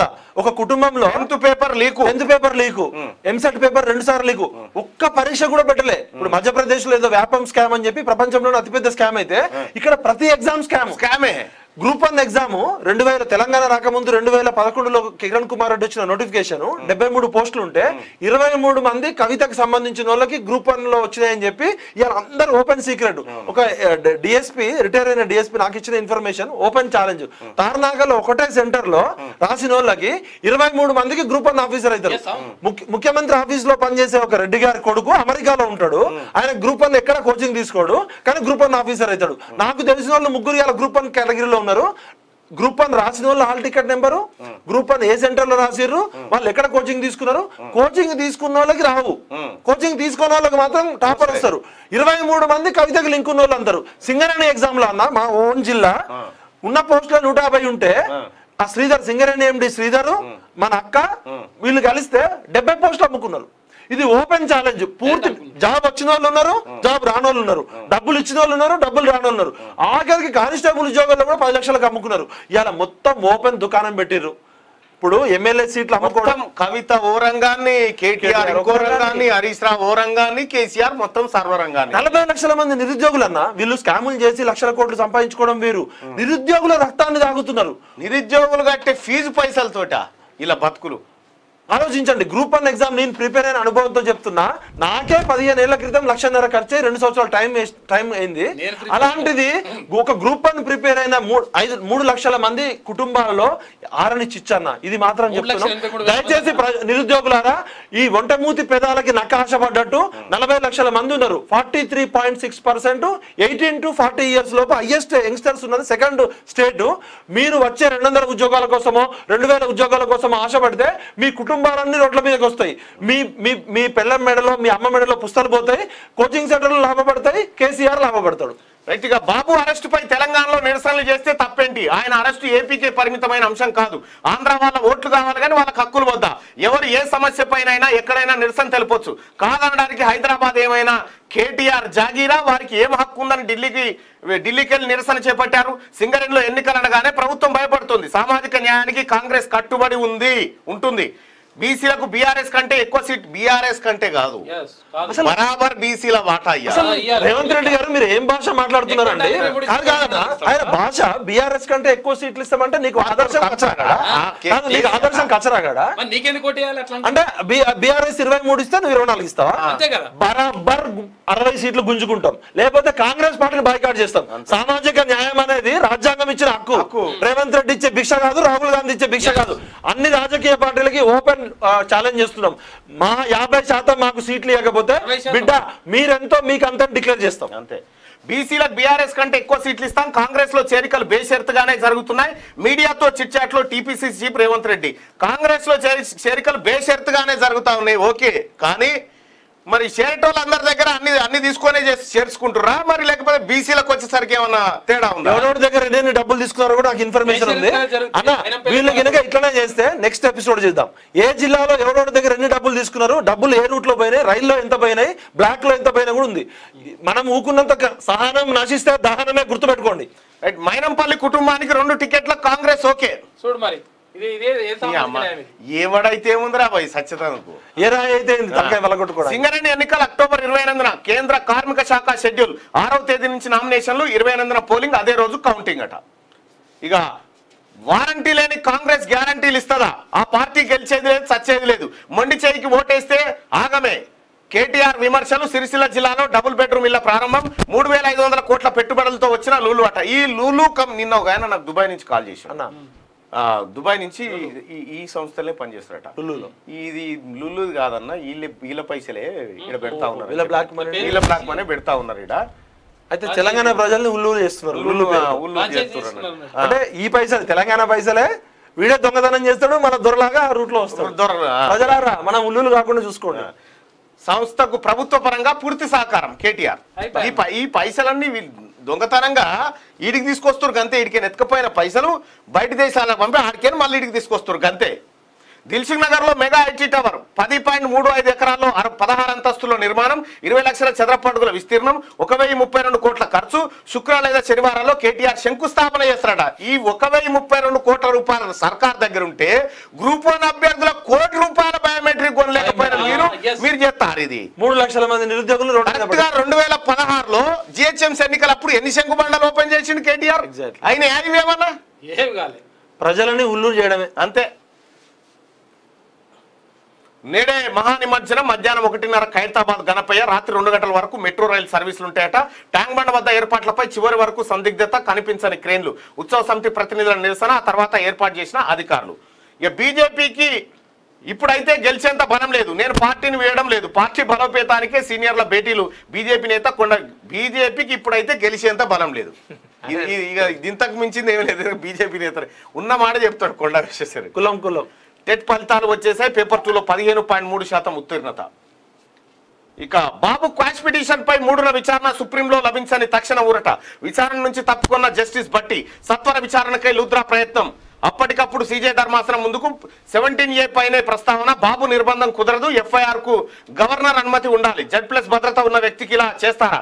మళ్ళీ సిఐడి కస్టడీకి అడుగుతున్నారు. బాబు తరఫున లూద్రా వాదనలు మూడున విచారణ జరుపుతామన్న సిజేఐ కస్టడీపై విచారణ ఆపలేమని వెల్లడి. బెయిల్ పిటిషన్కు విచారణ అర్హత లేదు. ఇన్నర్ రింగ్ రోడ్డు అలైన్మెంట్ కేసులో ఏపీ హైకోర్టులో ఏజీ వాదనలు కస్టడీ బెయిల్ పిటిషన్ల విచారణ అక్టోబర్ నాలుగు వాయిదా అంటూ చంద్రబాబుకు సంబంధించింది. ఎన్నికల పనులు చేయలేం. హడావిడిగా చేసే పనులకు బిల్లులు వస్తాయో రావో కాంట్రాక్టర్లో ఆందోళన సర్కారు పనులకు దూరం రేపు ఏదైనా జరిగితే ఆ రిస్క్ తీసుకోలేమని వెల్లడి. అన్నా ప్లీజ్ అంటూ కాంట్రాక్టర్లకు ఎమ్మెల్యేల ఫోన్లు. బిల్లులు ఇప్పించే బాధ్యత తమదేనంటూ హామీలు. ఆర్ఎండ్బి పంచాయత్ రాజ్ ఇరిగేషన్ జిహెచ్ఎంసీలో పదిహేను వేల మూడు వందల కోట్ల బకాయిలు ఉన్నాయి బాబా. గీలకు పైసలు ఇస్తేందుకే పైసలు లేక వెయ్యి కోట్లు పెట్టి టవర్లు. ఏం లేదు ఆ శంకుస్థాపన చేసి అవతల పడతాడు అంతే అది చూపెట్టి అద్భుతం జరగబోతా ఉంది అని చెప్తాడు అన్నట్టు మాయామచ్చింద్ర కథ. అన్న చాలా మంది తెలంగాణ కాంట్రాక్టర్లు ఆత్మహత్యలు చేసుకునే పరిస్థితి ఉంది. చేసుకున్నారు. ఈ చెంగిసెర్ల కాడ మొన్న మొన్న నైటే చేసుకున్నాడు. మొన్ననే. మొన్ననే. ఇప్పుడు మెగా కృష్ణారెడ్డి మాత్రం మంచిగా ఉంటాడు ఆయనకి చిన్న? చిన్న కాంట్రాక్టర్లు మాత్రం సూసైడ్ చేసుకోవాలి. నదుల అనుసంధానంతో దుష్ దుష్పరిణామాలు. నీటి ఎద్దడి మరింత పెరిగే ప్రమాదం ఋతుపవనాల ప్రక్రియకు అంతరాయం. వర్షపాతం నమూనాలోను మార్పులు ఓ అధ్యయనంలో వెల్లడట.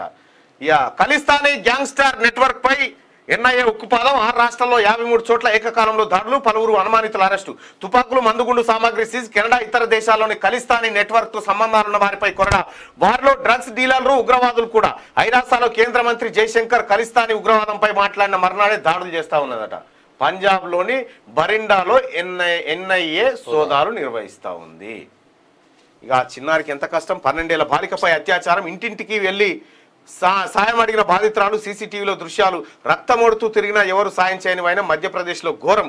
చివరికి ఓ ఆశ్రమంలో సాయం ఆసుపత్రికి బాలిక పోక్సో చట్టం కింద కేసు నమోదు. ఘోరం.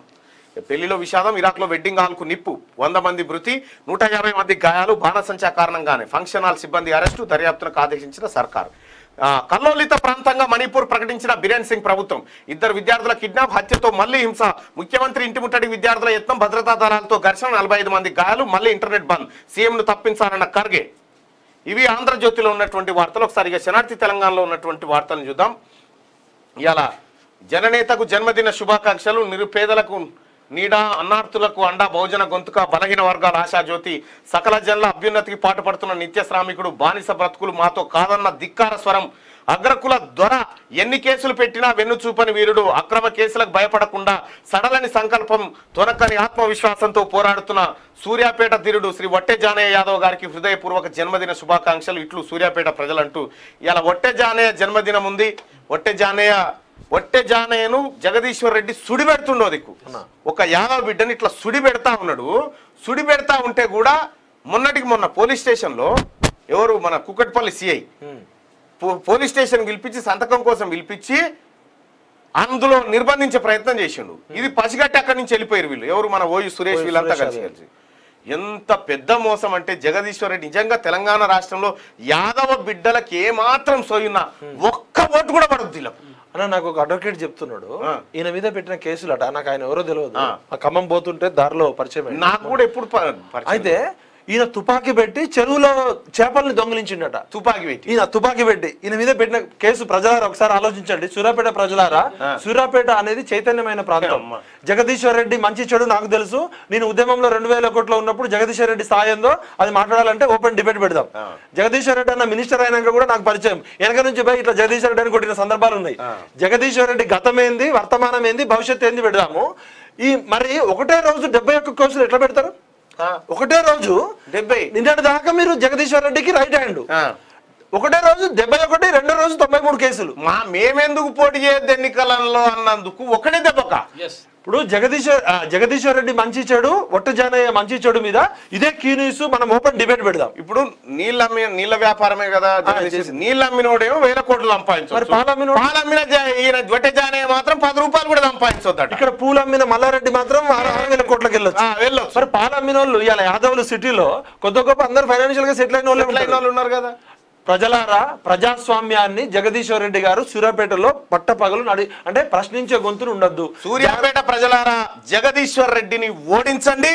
ఒక్క యాదవ బిడ్డ పొరపాటున ఓటేసినా కూడా అది మీ జాతరకు అన్యాయం అన్న యాదవ్ బిడ్డే కాదు. మొత్తం ప్రజాస్వామ్యవాదులు బీసీ బిడ్డలు. బీసీ బిడ్డలు ఎవ్వరు కూడా జగదీశ్వర్ రెడ్డికి ఒక్క ఓటేయకండి. అన్న యాదవుల గురించి మాట్లాడాలంటే ఈ దేశము కృష్ణుడు పరిపాలించిన రాజ్యం. కృష్ణుడు యాదవుల నుంచి అందరు వచ్చిర్రు.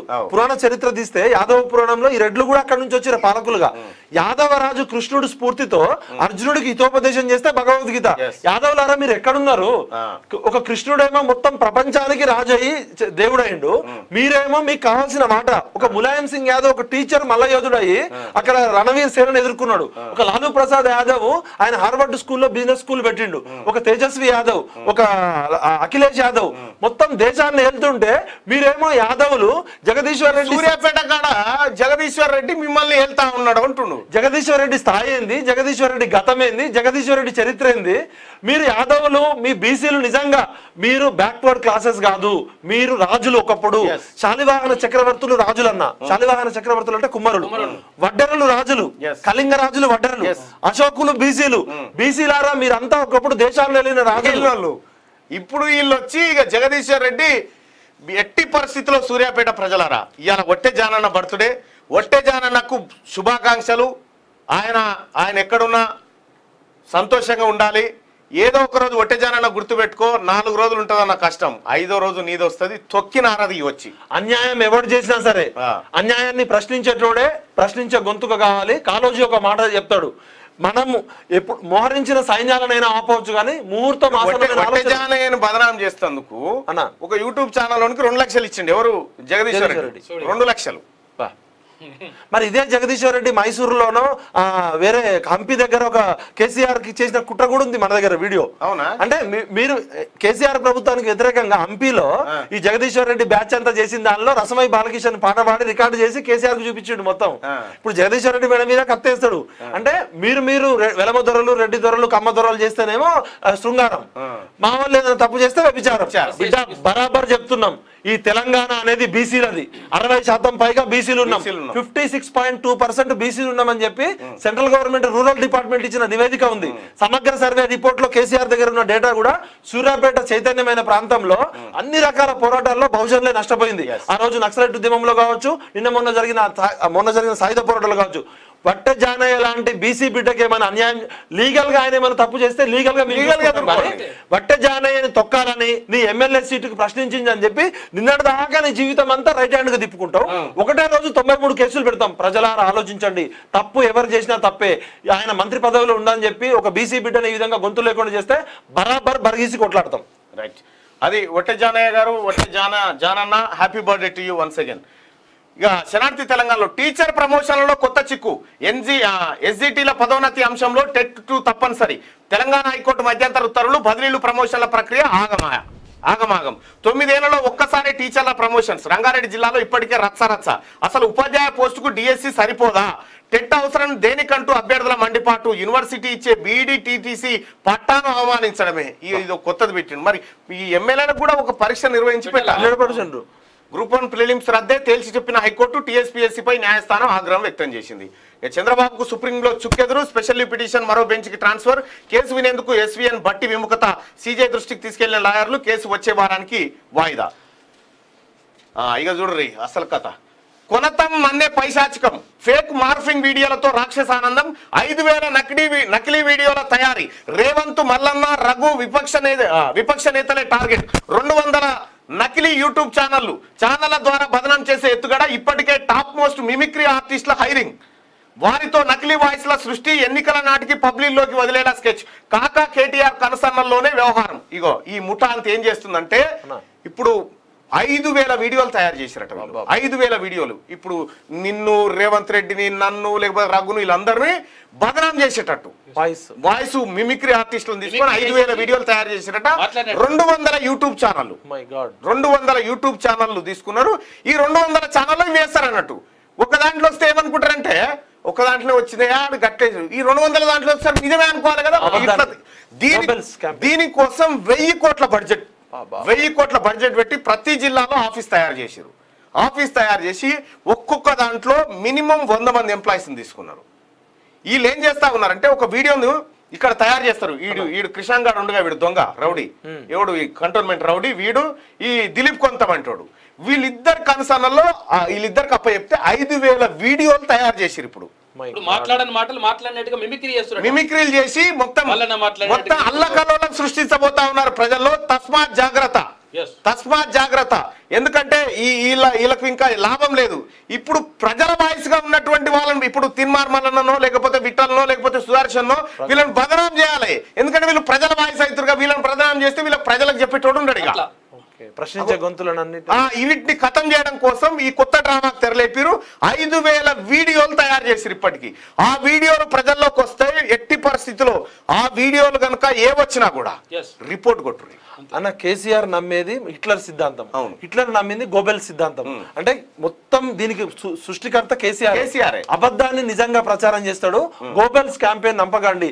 ప్రాపగండా థీరీ ఇది. ప్రాపగండా థీరీ కాబట్టి ఒక మీడియా ఎక్స్పర్ట్గా చెప్తున్నా ప్రాప ఈయన మన్నే క్రిషాంక్ కూడా మీడియా కమ్యూనికేషన్ చదువుకున్నాడే నా జూనియరే. దిలీప్ కూడా నాకు తెలుసు. వీళ్ళిద్దరు ఈయననేమో దిలీప్ ఒక దళారి పశ్చాత్తాపం అని ఒక పుస్తకం రాస్తే తెలుగులో అనువాదం చేసిండు. కేటీఆర్ నేను కలిసి కూర్చున్నప్పుడు దిలీప్ కొంతం అక్కడికి వచ్చిన సందర్భం ఉంది అధికారంలోకి వచ్చినప్పుడు. కేసీఆర్ గారు మీరు నిజాన్ని నమ్ముకుంటే బతికి బట్టగడతారు. అబద్ధాన్ని నమ్ముకొని ప్రపంచంలో పచ్చి అబద్ధాలకు పుట్టినిల్లు కేసీఆర్ మైండ్. కాబట్టి అబద్ధాన్ని ప్రచారం చేయాలనుకుంటే నిజం నిప్పు లాంటిది అందరిని అయితే ఇప్పటికే ఏం చేసిరంటే సోషల్ మీడియా ఇన్ఛార్జ్లను పెట్టిరు. ఇప్పుడు ఏం చేస్తారంటే ప్రతిరోజు ఇప్పుడు సపోజ్ ఏదన్నా ప్రభుత్వ వ్యతిరేకమైన గ్రామ గ్రూప్ ఉంటది కదా. గ్రామంలో ఒక గ్రూప్ ఉంటది వాట్సాప్ గ్రూప్లలో. వాట్సాప్ గ్రూప్ ఉంటది కదా? వాట్సాప్ గ్రూప్లో ఏం చేస్తారంటే వీళ్ళు ఎంటర్ అవుతారు. వీళ్ళు ఎంటర్ అయిపోయి ఆ గ్రామంలోనే ఉంటాడు. ఆ గ్రూప్లో ఉండి ఏం చేస్తారంటే ఎవరన్నా ఇప్పుడు ప్రభుత్వానికి వ్యతిరేకంగా పోస్ట్ పెట్టారనుకో వెంటనే వాడు పోస్ట్ పెడతాడు. ఏమని? ప్రభుత్వానికి అనుకూలమైన వీడియో. వెంటనే పెట్టాలన్నట్టు వీళ్ళకి శిక్షణ ఇదంతా. వెంటనే పెట్టాలి. అది కూడా రాత్రి పడుకునేటప్పుడు ఆఖరి పోస్ట్ మళ్ళీ ఈ కేసీఆర్ దే అయి ఉండాలి. మైండ్ గేమ్ ఇదంతా. కేసీఆర్ దే అయి ఉండాలి. పొద్దుగా లేవగానే మళ్ళీ కేసీఆర్ దే కనిపించాలి. ఇది పెద్ద నెట్వర్క్ తయారు చేసి ఈ విధంగా సోషల్ మీడియా ద్వారా ప్రజల మైండ్ సెట్ని మార్చాలనేది వీళ్ళ ఇంటెన్షన్ అన్నట్టు. ఇట్లా ఐదు వేల వీడియోలను ఇప్పటికి తయారు చేయించి వెయ్యి కోట్ల రూపాయలు దీనికోసం ఖర్చు పెట్టి ఏందన్న రెండు వందల నకిలీ యూట్యూబ్ ఛానల్ రెండు వందల నకిలీ రెండు వందల నకిలీ యూట్యూబ్ ఈ నేను మొన్న చూపెట్టా కదా ఈ బచ్చగాలంతరి ఇవన్నీ రెండు వందల యూట్యూబ్ ఛానళ్ళు తయారు చేసి ఇవి కేసీఆర్కు అనుకూలంగా ఉండి మనకు వ్యతిరేకంగా ఉండేట్టు ఒకరొకరు ఒకరొకరు ఇట్లా పెట్టుకుంటూ వస్తున్నారు అన్నట్టుగా అసలు మీరు చెప్తుంటే నాకు మైండ్ షాక్ అవుతుంది. నిజాన్ని కూడా ఇట్లా చేయడు? ఇది ప్రపంచంలో ఎవడు ఇట్లా చేయడు? చేయడు. అబద్ధానికి రంగులద్ది నిజాన్ని మర్పించేలా చేస్తున్నాడు. అబద్ధమే సిగ్గుపడేలా ఉంటది ఇట్లాంటి చేస్తుంటే. దయచేసి ప్రజలారా మీరు పది సార్లు కాస్ట్ చెక్ చేసుకోండి. మీ మీ ఊర్లలో మీ ఊర్లలో మీ ఊరు గ్రామ వాట్సాప్ గ్రూప్లలో కేసీఆర్కి అనుకూలంగా ఒకటే వీడియో ఇక్కడ నుంచి హైదరాబాద్ నుంచి వస్తుంది జిల్లాలకు వెళ్ళిపోతుంది నియోజకవర్గాలకు వెళ్ళిపోతుంది మండలాలకు గ్రామాలకు. అంటే నిజం కళ్ళు తెరిచే లోపు అబద్ధం ప్రపంచం అంతా చుట్టూ తిరిగి వస్తుంది అన్నట్టు. ఈ- కార్యక్రమం చేస్తారు. నీవు గవర్నమెంట్ వ్యతిరేకంగా పోస్ట్ పెట్టగానే ఫస్ట్ ఇక నువ్వు పదే పదే పెడుతుంటే దమ్కి ఇస్తారు. నువ్వు అట్లా పెట్టుకుంటూ వచ్చినావు అనుకో దానికి కౌంటర్గా. దమ్కి ఇచ్చే బ్యాచ్ వేరే ఉంటది. ఓకే. ఈ సోషల్ మీడియా బ్యాచ్ అని ఒకటి పెట్టి దీంట్లో వాడు ఇందులో పెడతా ఉంటాడు. ఏందన్న సోషల్ మీడియా ప్రెసిడెంట్ని పెట్టారు. సోషల్ అన్నిట్లలో పెట్టారు మొత్తం వాళ్ళే ఉన్నారు. నిజం. ఈ ఈ గ్రూపులలో ఉండేటువంటి వాళ్ళు ఎవరైతే ఉన్నారో వాళ్ళ కంట్రోల్లోకి వాట్సాప్ గ్రూపులు వెళ్ళిపోయినాయి. వాళ్ళ కంట్రోల్లోకి వెళ్ళిపోయి విలేజ్లో ఉన్న గ్రూప్స్ అన్ని కూడా. అగో నెగిటివ్ పెడితే ఫోన్ వస్తుందంట. ఫోన్ బ్యాచ్ వేరే ఉంటది ఇది వేరే ఉంటది. ఏం లేదు ప్రజలారా వీళ్ళన్నీ గమనించుకుంటుండండి. ఓటు పరద సాటుకేస్తాం చూడు.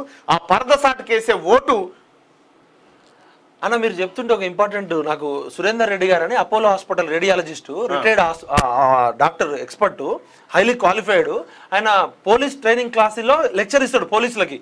ఆయన వాళ్ళ విలేజ్ గ్రూప్లో ఏదో వీడియో ఫార్వర్డ్ చేస్తే ఆయన మీద కేసు పెట్టిరట నాకు మీరు చెప్తుంటే గుర్తొచ్చింది. త్రీ డేస్ బ్యాక్ నేను ఒకసారి రేపు ఇస్తా. ఆయన పోలీసులకి ఎస్ఐలకి ట్రైనింగ్ ఇచ్చే ఆఫీసర్ ఫోరెన్సిక్ ఎక్స్పర్ట్ గాంధీ హాస్పిటల్లో రిటైర్డ్ అయ్యి హాస్పిటల్లో పనిచేస్తున్నాడు. ఆయన ఏదో ఒక ఫార్వర్డ్ మెసేజ్ కొడితే ఆయన మీద కేసు పెట్టిరట. గ్రూపులలో ఎస్ఐలు ఇంటెలిజెన్స్ వాళ్ళు ఉన్నారట. విలేజ్ గ్రూప్లో ఇల్లీగల్గా పోలీసు వాళ్ళు ఉండకూడదు. ఇప్పుడు నేను నాకు సంబంధించిన నా సోషల్ మీడియా గ్రూప్ నా కమ్యూనిటీ గ్రూప్ నా ఎడ్యుకేషన్ గ్రూప్ పెడతా. ఇల్లీగల్గా దొంగ పేరుతో వచ్చి ముసుగేసుకొని వస్తున్నారు. ఇది చట్టరీత్యా నేరం ఇది. ఐటీ యాక్ట్ ప్రకారం. దయచేసి ప్రజలారా నేను ఖచ్చితంగా సురేందర్ రెడ్డి గారిని తీసుకొస్తా. ఇది చాలా జరుగుతున్నాయి. ఎందుకంటే అబద్ధం ఎవరు చెప్పినా అబద్ధమే. కానీ అబద్ధమే నిజం డ్రెస్ వేసుకొని వస్తుంది. ఈ కలియుగంలో ఎట్లయిపోయిందంటే ఏది అబద్ధమో ఏది నిజమో తెలియక మనం ఇప్పటికే కన్ఫ్యూజ్ అవుతుంటే ప్రపంచంలో పచ్చి అబద్ధాలకు పుట్టినీళ్ళు ఈయన నోరు. ఈయన మైండ్ మొత్తం అబద్ధమే. ఆయన నిజం చెప్తే చచ్చిపోతాడు. ఎవరో సామెత ఉంది. ఆయన నిజం చెప్తే నిమిషంలో చచ్చిపోతాడు. కేసీఆర్ గారు మీరు ఇప్పటికే మొత్తం తూ తూ తూ అంటున్నారు. తూ మీ బతుకు చెడ అని యూట్యూబ్లో మీరు రెండు వేల నాలుగులో ఏం చెప్పారు? రెండు వేల తొమ్మిదిలో ఏం చెప్పారు? రెండు వేల పద్నాలుగులో ఏం చెప్పారు? ఇట్లాంటి జీతకాలను పెట్టుకొని పెయిడ్ బ్యాచ్ ఆర్టిస్టులు ఇప్పుడు ఇప్పుడు ఇప్పుడు చాలా వీడియోలు చాలా మిమిక్రీలు చాలా ఐదు వేల వీడియోలు తయారు చేసారు ప్రజలారా అప్రమత్తంగా ఉండండి. ఇరవై రోజుల తర్వాత రాబోయే కార్యక్రమాన్ని ఇప్పుడు చెప్తా ఉన్నా చూడండి. బీఆర్ఎస్ పార్టీ సోషల్ మీడియా ఇన్ఛార్జీల ఇన్ఛార్జీలు కొనతం దిలీప్ మన్నె క్రిషాంకులు రాక్షసుల మాదిరి తయారయ్యారు. కాక కాందాన్ డైరెక్షన్లో పైశాచిక పనులకు తెరలేపారు. టీపీసీసీ అధ్యక్షుడు రేవంత్ రెడ్డి ప్రశ్నించే ప్రజాగొంతుక తీన్మార్ మల్లన్న మన తొలి వెలుగు రఘు విపక్ష ఎమ్మెల్యేలను టార్గెట్ చేసేందుకు అవసరమైన ప్రణాళికలు రూపొందించారు. వి సిక్స్ వెలుగు పత్రిక ఇమేజ్ని డ్యామేజ్ చేసేలా స్కెచ్లు గీశారు. కొంతం దిలీప్ ప్రస్తుతం BRS party social media wing కన్వీనర్గా ఉన్నారు. ఇతను బీఆర్ఎస్ కేసీఆర్ వ్యతిరేక శక్తులను దెబ్బ కొట్టేందుకు పెద్ద టీం నే రన్ చేస్తున్నాడు కొన కొంతం దగ్గర ఆరు వందల నుంచి ఏడు వందల మంది వరకు సోషల్ మీడియా టీం పనిచేస్తుంది. వీరు సుమారు ఐదు వందల సిస్టమ్స్ను మెయింటైన్ చేస్తున్నారు. అటు కేటీఆర్ అనుంగ అనుచరుడు మన్నే క్రిషాంక్ కూడా మరో టీంను రన్ చేస్తున్నారు. నకిలీ మార్ఫింగ్ వీడియోలతో బురద చల్లడమే మెయిన్ టార్గెట్ నకిలీ మార్ఫింగ్ వీడియోలు తయారు చేస్తారు అట్లు మన్నే కొంత ద్వయం సుమారు ఐదు వేల వరకు నకిలీ మార్ఫింగ్ వీడియోలను తయారు చేయించినట్లు సమాచారం. కాంగ్రెస్ పార్టీ ముఖ్యుల కోసం మూడు వేల ఐదు వందలు బీజేపీని కార్నర్ చేసేందుకు మరో ఐదు వందలు క్యూ న్యూస్ తీన్మార్ మల్లన్న తొలి వెలుగు రఘు కాలోజీ వెలుగు పత్రిక వంటి వాటిని బదనాం చేసేందుకు వెయ్యి వరకు వీడియోలను తయారు చేయించారు. బీఆర్ఎస్ పార్టీకి సంబంధించిన యూట్యూబ్ ఫేక్ ఛానల్స్ అనే అలాగే ఆ పార్టీ కొనుగోలు చేసిన యూట్యూబ్ మాధ్యమాల ద్వారా ఎన్నికల నాటికి నకిలీ వీడియోలను పబ్లిక్లోకి వదిలి వారిని తికమక పెట్టేందుకు రంగం సిద్ధం చేశారు. టీపీసీసీ అధ్యక్షుడు రేవంత్ రెడ్డి టీడీపీ పార్టీలో ఉన్నప్పుడు కాంగ్రెస్ పార్టీని తిట్టిన వీడియోస్ తెర మీదకి తెచ్చే ప్రయత్నం చేస్తున్నారు. రేవంత్ అక్రమాలకు అధినేత దుర్మార్గుడు అనే భావన కలిగేలా వీడియోలను రూపొందించినట్టు తెలుస్తుంది. ఇక తీన్మార్మన్న క్యూనిస్ పై కూడా దుష్ప్రచారం చేసేలా మార్ఫింగ్ వీడియోలను తయారు చేయించినట్టు సమాచారం. ఏపూరు సోమన్న లాంటి వాళ్ళను మెచ్చుకోవడం మల్లన్న రేపో మాపో బీఆర్ఎస్లోకి వస్తాడని చెప్పి కుట్ర. ప్రచారం కొత్త ప్రచారాలు. మైండ్ గేమ్ చాలా ప్రమాదకరమైనటువంటి అక్కడ కొన్నాం. ఆయన భేటీ జరిగింది అనిపించేలా దొంగ వీడియోలను క్రియేట్ చేయించినట్టు తెలుస్తుంది. మల్లన్నతో పాటు మన తొలి వెలుగు లాంటి వారు కూడా బీఆర్ఎస్ పార్టీని డబ్బులు అడుగుతున్నారని వారు భరాసా పార్టీని బ్లాక్ మెయిల్ చేస్తున్నారనే వీడియోలను సృష్టించినట్టు సమాచారం. గాడ్ ఇందుకోసం వాళ్ళ కార్యకర్తలతోనే ఫోన్లు మాట్లాడించి మిమిక్రీ ఆర్టిస్టుల సహాయంతో వాటిని మార్ఫింగ్ చేసి విపక్ష నేతలు ప్రజా వ్యతిరేక సామాజిక మాధ్యమాల యాజమాన్యాలు యాజమాన్యాలను ఇబ్బంది పెట్టే కార్యక్రమాలకు కొనత మన్నే పూనుకున్నట్టు సమాచారం. అలాగే పలువురు కాంగ్రెస్ పార్టీ ఎమ్మెల్యే అభ్యర్థులు బీఆర్ఎస్కు సరెండర్ అయ్యారని వారు కేసీఆర్ బీజేపీతో టచ్లోకి వెళ్ళారని నమ్మించే దొంగ వీడియోలను సృష్టించిరట ఇప్పటికే. ఎంత పెద్ద ప్రమాదకరమైనటువంటి వ్యవస్థలోకి తీసుకుపోతారో చూడండి. దొంగ వీడియోలు సృష్టించినట్టు ఇప్పటికే. ఇప్పుడు ఇప్పుడు ఏం చేస్తారంటే ఒక మిమిక్రీ ఆర్టిస్ట్ పెట్టి మీరు ఇద్దరు మాట్లాడుకుని నువ్వు మిమిక్రీ చేస్తావు నా వాయిస్ ఓకే. నేను పైసలు అడిగినట్టు ఉంటుంది ఆయనని. ఆ వీడియోని చేసి మళ్ళా పైసలు అడుగుతున్నాను పబ్లిక్ మా ప్రజలకు ఏమెరక ఇది. తెలియదు కదా. మిమిక్రీ అని తెలియదు కదా. ఇట్లా రే బీఆర్ కాంగ్రెస్ పార్టీ అభ్యర్థులను కూడా ఇట్లా మార్ఫింగ్ చేస్తున్నారట. చాలా మంది మిమిక్రీ ఆర్టిస్టులను హైర్ చేసుకున్నారట. తస్మాత్ జాగ్రత్త ప్రజలారా మీరు పొరపాటును కూడా టీఆర్ఎస్ పార్టీ నుంచి ఏవైతే ఇప్పుడు ఐదు వేల వీడియోలు తయారు చేశారు కదా మూడు వేల ఐదు వందల వీడియోలు కాంగ్రెస్ పార్టీ మీదనే ఉన్నాయి. ఒక వెయ్యి వీడియోల దాకా వి సిక్స్ మీద వెలుగు మీద నా మీద ఆ తర్వాత కాలోజీ టీవీ మీద ఈ ఈ యూట్యూబ్ ఛానల్ ఏవైతే ప్రజలకు అవగాహన కల్పిస్తా ఉన్నాయి వీళ్ళకు వీళ్ళని బదనాం చేయడం కోసం. ఇవన్నీ చేస్తా ఉన్నారు. తస్మాత్ జాగ్రత్తగా ఉండండి. విలేజ్ వాట్సాప్ గ్రూప్లలో కూడా అబ్జర్వ్ చేస్తూ ఉండండి. మీరు రాత్రి పడుకునేటప్పుడు ఆఖరి ఆఖరి వీడియో అదే అయి ఉంటుంది లేచేటప్పుడు అదే అయి ఉంటుంది. మీరు ఏదన్నా ప్రభుత్వానికి వ్యతిరేకంగా లేకపోతే ప్రజా సమస్యను పెడితే వెంటనే దానికి కౌంటర్గా వీడియో వచ్చేస్తుంది. ఇంత పకడ్బందీగా జరుగుతుంది తస్మాత్ జాగ్రత్తగా ఉండండి వెయ్యి కోట్లు ఖర్చు పెట్టి ఐదు వేల వీడియోలు తయారు చేసిరు అన్న ఒక్క నిమిషం. నిరుద్యోగ యువతులారా నలభై లక్షల మంది మీరున్నారు. కోటి రూపాయలు లేక గ్రూప్ వన్ ఎగ్జామ్ మళ్ళా అద్దయింది. వెయ్యి కోట్లు పెట్టి రెండు వందల యూట్యూబ్ ఛానల్ పెట్టి ఇప్పటికే డెబ్బై యూట్యూబ్ ఛానల్ కొన్నారు. నేను ఒక కమ్యూనికేషన్ ఎక్స్పర్ట్గా జర్నలిజం అసిస్టెంట్ ప్రొఫెసర్గా చెప్తున్నా. ఒక అక్షరం సిరా చుక్క లక్ష మెదళ్ళ కదలిక. ఒక దృశ్యం సామాజిక విప్లవం. అలాంటిది దృశ్యాన్ని మార్ఫింగ్ చేసే ఇలాంటి గ్యాంగులు ఉంటే దయచేసి మీరు రెండు సార్లు క్రాస్ చెక్ చేసుకోండి. ఎవరినైనా కూడా క్రాస్ చెక్ చేసుకోండి. గుడ్డిగా నమ్మకండి. ఎస్ అందుకోసమే తెలంగాణలో మరో ఇరవై రోజుల్లో ఈ వీడియోలతో దాడి జరగబోతా ఉంది. ప్రజల పక్షాన మాట్లాడేటోళ్ళను బదనాం చేయడానికి రకరకాల ఎత్తులతో వస్తా ఉన్నారు. తస్మాత్ జాగ్రత్త. తస్మాత్ జాగ్రత్త. మీ మీరు కూడా ప్రజలు కూడా ఎందుకంటే ఒక ఆయన అంటాడు మళ్ళా ఈ వీడియో నీ మీద గిట్లొచ్చింది అని అంటాడు. ఆయనకు తెలియదు కదా ఇదంతా. ఇగో జరుగుతున్నదంతా ఇది. ఇగో అన్నగారు మా గజ్వేల్లో సోషల్ మీడియా వాళ్ళు ప్రశ్నించినందుకు నన్ను తిట్టి తిట్టిపిస్తున్నారట. టెలివిజన్లో పెట్టేస్తారు గ్రూప్లలో. జాగ్రత్తగా ఉండండి ప్రజలారా నేను ఇప్పుడు చెప్తా ఉన్నా. మా విలేజ్లో కేసీఆర్కి అగేనెస్ట్గా పోస్ట్ పెడితే ఫోన్లు ఫోన్లో మెసేజ్లు వస్తాయి అన్న పర్సనల్గా. బెదిరిస్తున్నారు. తస్మాత్ జాగ్రత్త ప్రజలారా పదే పదే చెప్తా ఉన్నా గొంతు బయట చెప్తా ఉన్నా ఈ వీడియోల ద్వారా జాగ్రత్తగా అప్రమత్తంగా ఉండండి.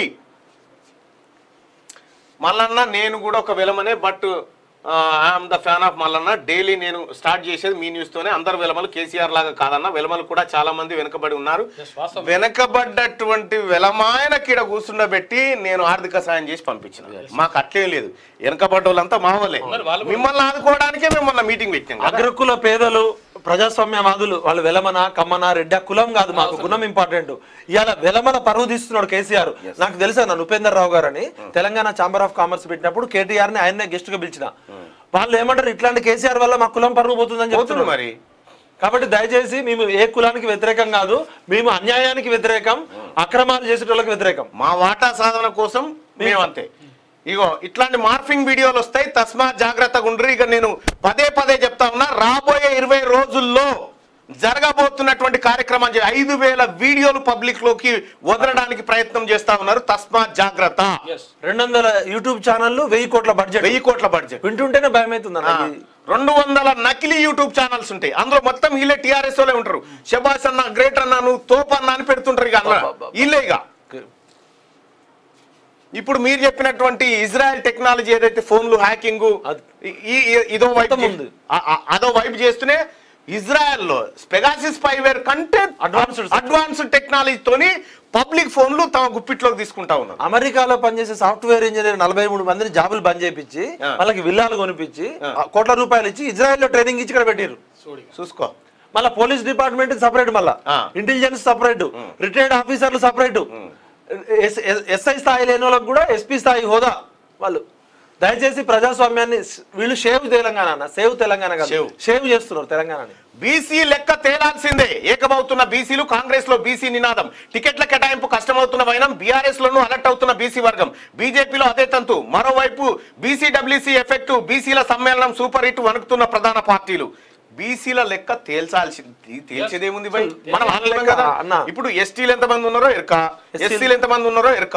అప్పర్ క్యాస్ట్ ఎంత మంది ఉన్నారో ఎరక? మధ్యలో ఉన్నది మనమే. మైనారిటీలు ఎంత మంది ఉన్నారో లెక్క. మన లెక్క మిగిలింది మనదే. మనమే మనమే అరవై శాతం పైన. ఆల్రెడీ కేసీఆర్ దగ్గర లెక్క ఉందన్న. కేసీఆర్ సీట్ కింద లెక్క ఉంది. సెంట్రల్ గవర్నమెంట్ రూరల్ మినిస్ట్రీ దగ్గర ఉంది. Fifty two point six percent రూరల్లో ఉన్నారని సెంట్రల్ గవర్నమెంట్ దగ్గర లెక్క ఉంది. కేసీఆర్ దగ్గర ఉన్న లెక్కలో మొత్తం ఉంది. ఆ లెక్క ప్రకారమే మనని విడగొట్టి పడగొట్టి ఓడగొడుతున్నాడు. కేసీఆర్ దగ్గర రెండు వేల పద్నాలుగులో బొంబాయి బొంబాయిలో ఉన్నాడు దుబాయ్లో ఉన్నాడు బొగ్గుబాయిలో ఉన్నాడు రావాలని చెప్పి రాజ్యాంగానికి విరుద్ధంగా ఏదైనా రాష్ట్ర ప్రభుత్వం సమగ్ర కుటుంబ సర్వే చేయాలంటే నేషనల్ శాంపుల్ సర్వే ఆర్గనైజేషన్ ప్రకారం రాజ్యాంగానికి విరుద్ధంగా ఈయన సర్వే తీసుకున్నాడు. అసలు ఆ కేసు మీద కేసీఆర్ని బొక్కలో వేయచ్చు. ఏ రాష్ట్ర ప్రభుత్వానికి కూడా డేటా తీసుకునే హక్కు లేదు. కేంద్ర ప్రభుత్వం ఎన్ఎస్ఎస్ నేషనల్ శాంపుల్ సర్వే జనాభా గణన చేయాలంటే కేంద్ర ప్రభుత్వం చేయాలి. కేసీఆర్ చేసిందే తప్పు కూడా లెక్కలు తీసుకొని. మనం మొత్తం పూర్తి వివరాలతోటి స్టాటిస్టిక్స్ తోటి డేటా డ్రివెన్ సొసైటీ తోటి data mining data interpretation statistics department బంద్ చేసిన దొంగలు. ఇప్పుడు వీళ్ళు వీళ్ళు ఏమంటారంటే ఇప్పుడు మ- మా టీము మేమంతా చేసిన లెక్కల ప్రకారం తెలంగాణ రాష్ట్రంలో ఉన్న వెలమోల ఇండ్లు ఏడు వేల రెండు వందలు. ఏడు వేల రెండు వందలు. ఈ లెక్క చెప్పంగానే ఏమవుతుందంటే వెలమోళ్ళు వామ్మో మా మీద దాడులు జరుగుతున్నాయని రాయకల్ పోలీస్ స్టేషన్లో వెలమోలు పోయి నా మీద కేసు పెట్టిరు మరి మా లెక్క చెప్పుర్రా నిన్నేళ్ళ నుంచి అడుగుతుంటే చెప్తలేరు ఎందుకు. మీ లెక్క బయటికి వస్తే మీకు కడుపులో? ఎగ్జాక్ట్లీ బీసీల లెక్క తెలవాలంటున్నాం మనం. గణేశుడి నిమజ్జనానికి సర్వం సిద్ధం. పలు ప్రాంతాల్లో వర్షంతో ఇబ్బందులట. ఇక ఆస్కార్ బర్లో మాల మలయాళ చిత్రం ఉంది. బెస్ట్ ఇంటర్నేషనల్ ఫీచర్ ఫిల్మ్ కేటగిరీలో రెండు వేల పద్దెనిమిది movie. TET result result release ఉదయం పది గంటలకు ఫలితాల వెల్లడి. అధికారిక website paper one paper two result ఈ నెల పదిహేను జరిగిన టెట్ ఎగ్జామ్. ఎనభై నాలుగు శాతం మంది ఫెయిల్ అయ్యారట. ఇక మంత్రి మల్లారెడ్డి అనుచరుడికి భిక్ష. కందాడి శ్రీకాంత్ రెడ్డి అక్రమ నిర్మాణాలు కూల్చివేత. వెంకటాపురంలో పద్దెనిమిది కమర్షియల్ సెటర్లు నేలమట్టం. అంగుటి అండతో రెచ్చిపోతున్న కందాడి ఎట్టకేలకు శ్రీకాంత్ రెడ్డి అవినీతి కట్టడాలపై కొరడా విధించారు. ఇగో దొంగతనంగా మల్లారెడ్డి ఇప్పుడు మొన్న రాత్రి రాత్రి చెరువు కబ్జా పెట్టిండు చెరువే. గాజుల రామరం కాడ. పద్దెనిమిది కమర్షియల్ సెంటర్లు ఆ. ఒక అనుచరుడు. ఒక అనుచరుడు. అనుచరుడే ఇంత చేస్తే అసలు ఎంత చేసి మొత్తం మల్లారెడ్డి చేసిన దోపిడీ. మల్లారెడ్డి చేసినటువంటి లుచ్చా పని మొత్తం మేడ్చల్ నియోజకవర్గంలో ఎంత గలీజ్ దందా అంటే వాంది ఎక్కడ కాలి భూములు ఉంచలే వాడికి? అసలు అమ్ముతావా లేదా? మేడం మీద కత్తి పెట్టన్నా అధికారులను పంపిస్తాడు అనుచరులను పంపిస్తాడు దాడులు చేయడము వాడు పంచాయతీకి మళ్ళీ కలెక్టర్ దగ్గరికి పోతే కలెక్టర్ మంత్రి గారిని ఒకసారి కలవకపోయినాం అంటాడా. అంటే ఎంత దారుణం. మల్లారెడ్డి ఇన్స్టిట్యూట్లో పదమూడు ఇంజనీరింగ్ కాలేజీలో చదువుతున్న తల్లిదండ్రులారా మీరు పిల్లలకి ఎలాంటి ఆదర్శం ఇవ్వబోతున్నారు మంత్రి మల్లారెడ్డి చీఫ్ గెస్ట్ వస్తే కేటీఆర్ కూర్చొని నవ్వుతుంటాడు. నవ్వుతుంటాడు. ఎలా ఇలా నలభై వేల మంది విద్యార్థులు చదువుతున్నారు ఆయన ఇన్స్టిట్యూట్లలో. టీచర్ అనేటువంటి ఆదర్శంగా ఉండాలి విద్యా సంస్థ చైర్మన్ అనేటువంటి ఆదర్శంగా ఉండాలి. మీరు ఎలాంటి ఆదర్శాన్ని నిర్మిస్తున్నారు? దయచేసి మల్లారెడ్డి ఇన్స్టిట్యూట్లో చదువుతున్న విద్యార్థులకి. మన మన డెస్క్లోనే పనిచేస్తుంది ఒక ఆమె. వాళ్ళ కూతురు శనార్థి డెస్క్లోనే పనిచేస్తుంది. వాళ్ళ కూతురు మల్లారెడ్డి ఇన్స్టిట్యూషన్లో చదువుతుంది. మొన్న ఇడికి వచ్చింది అన్న.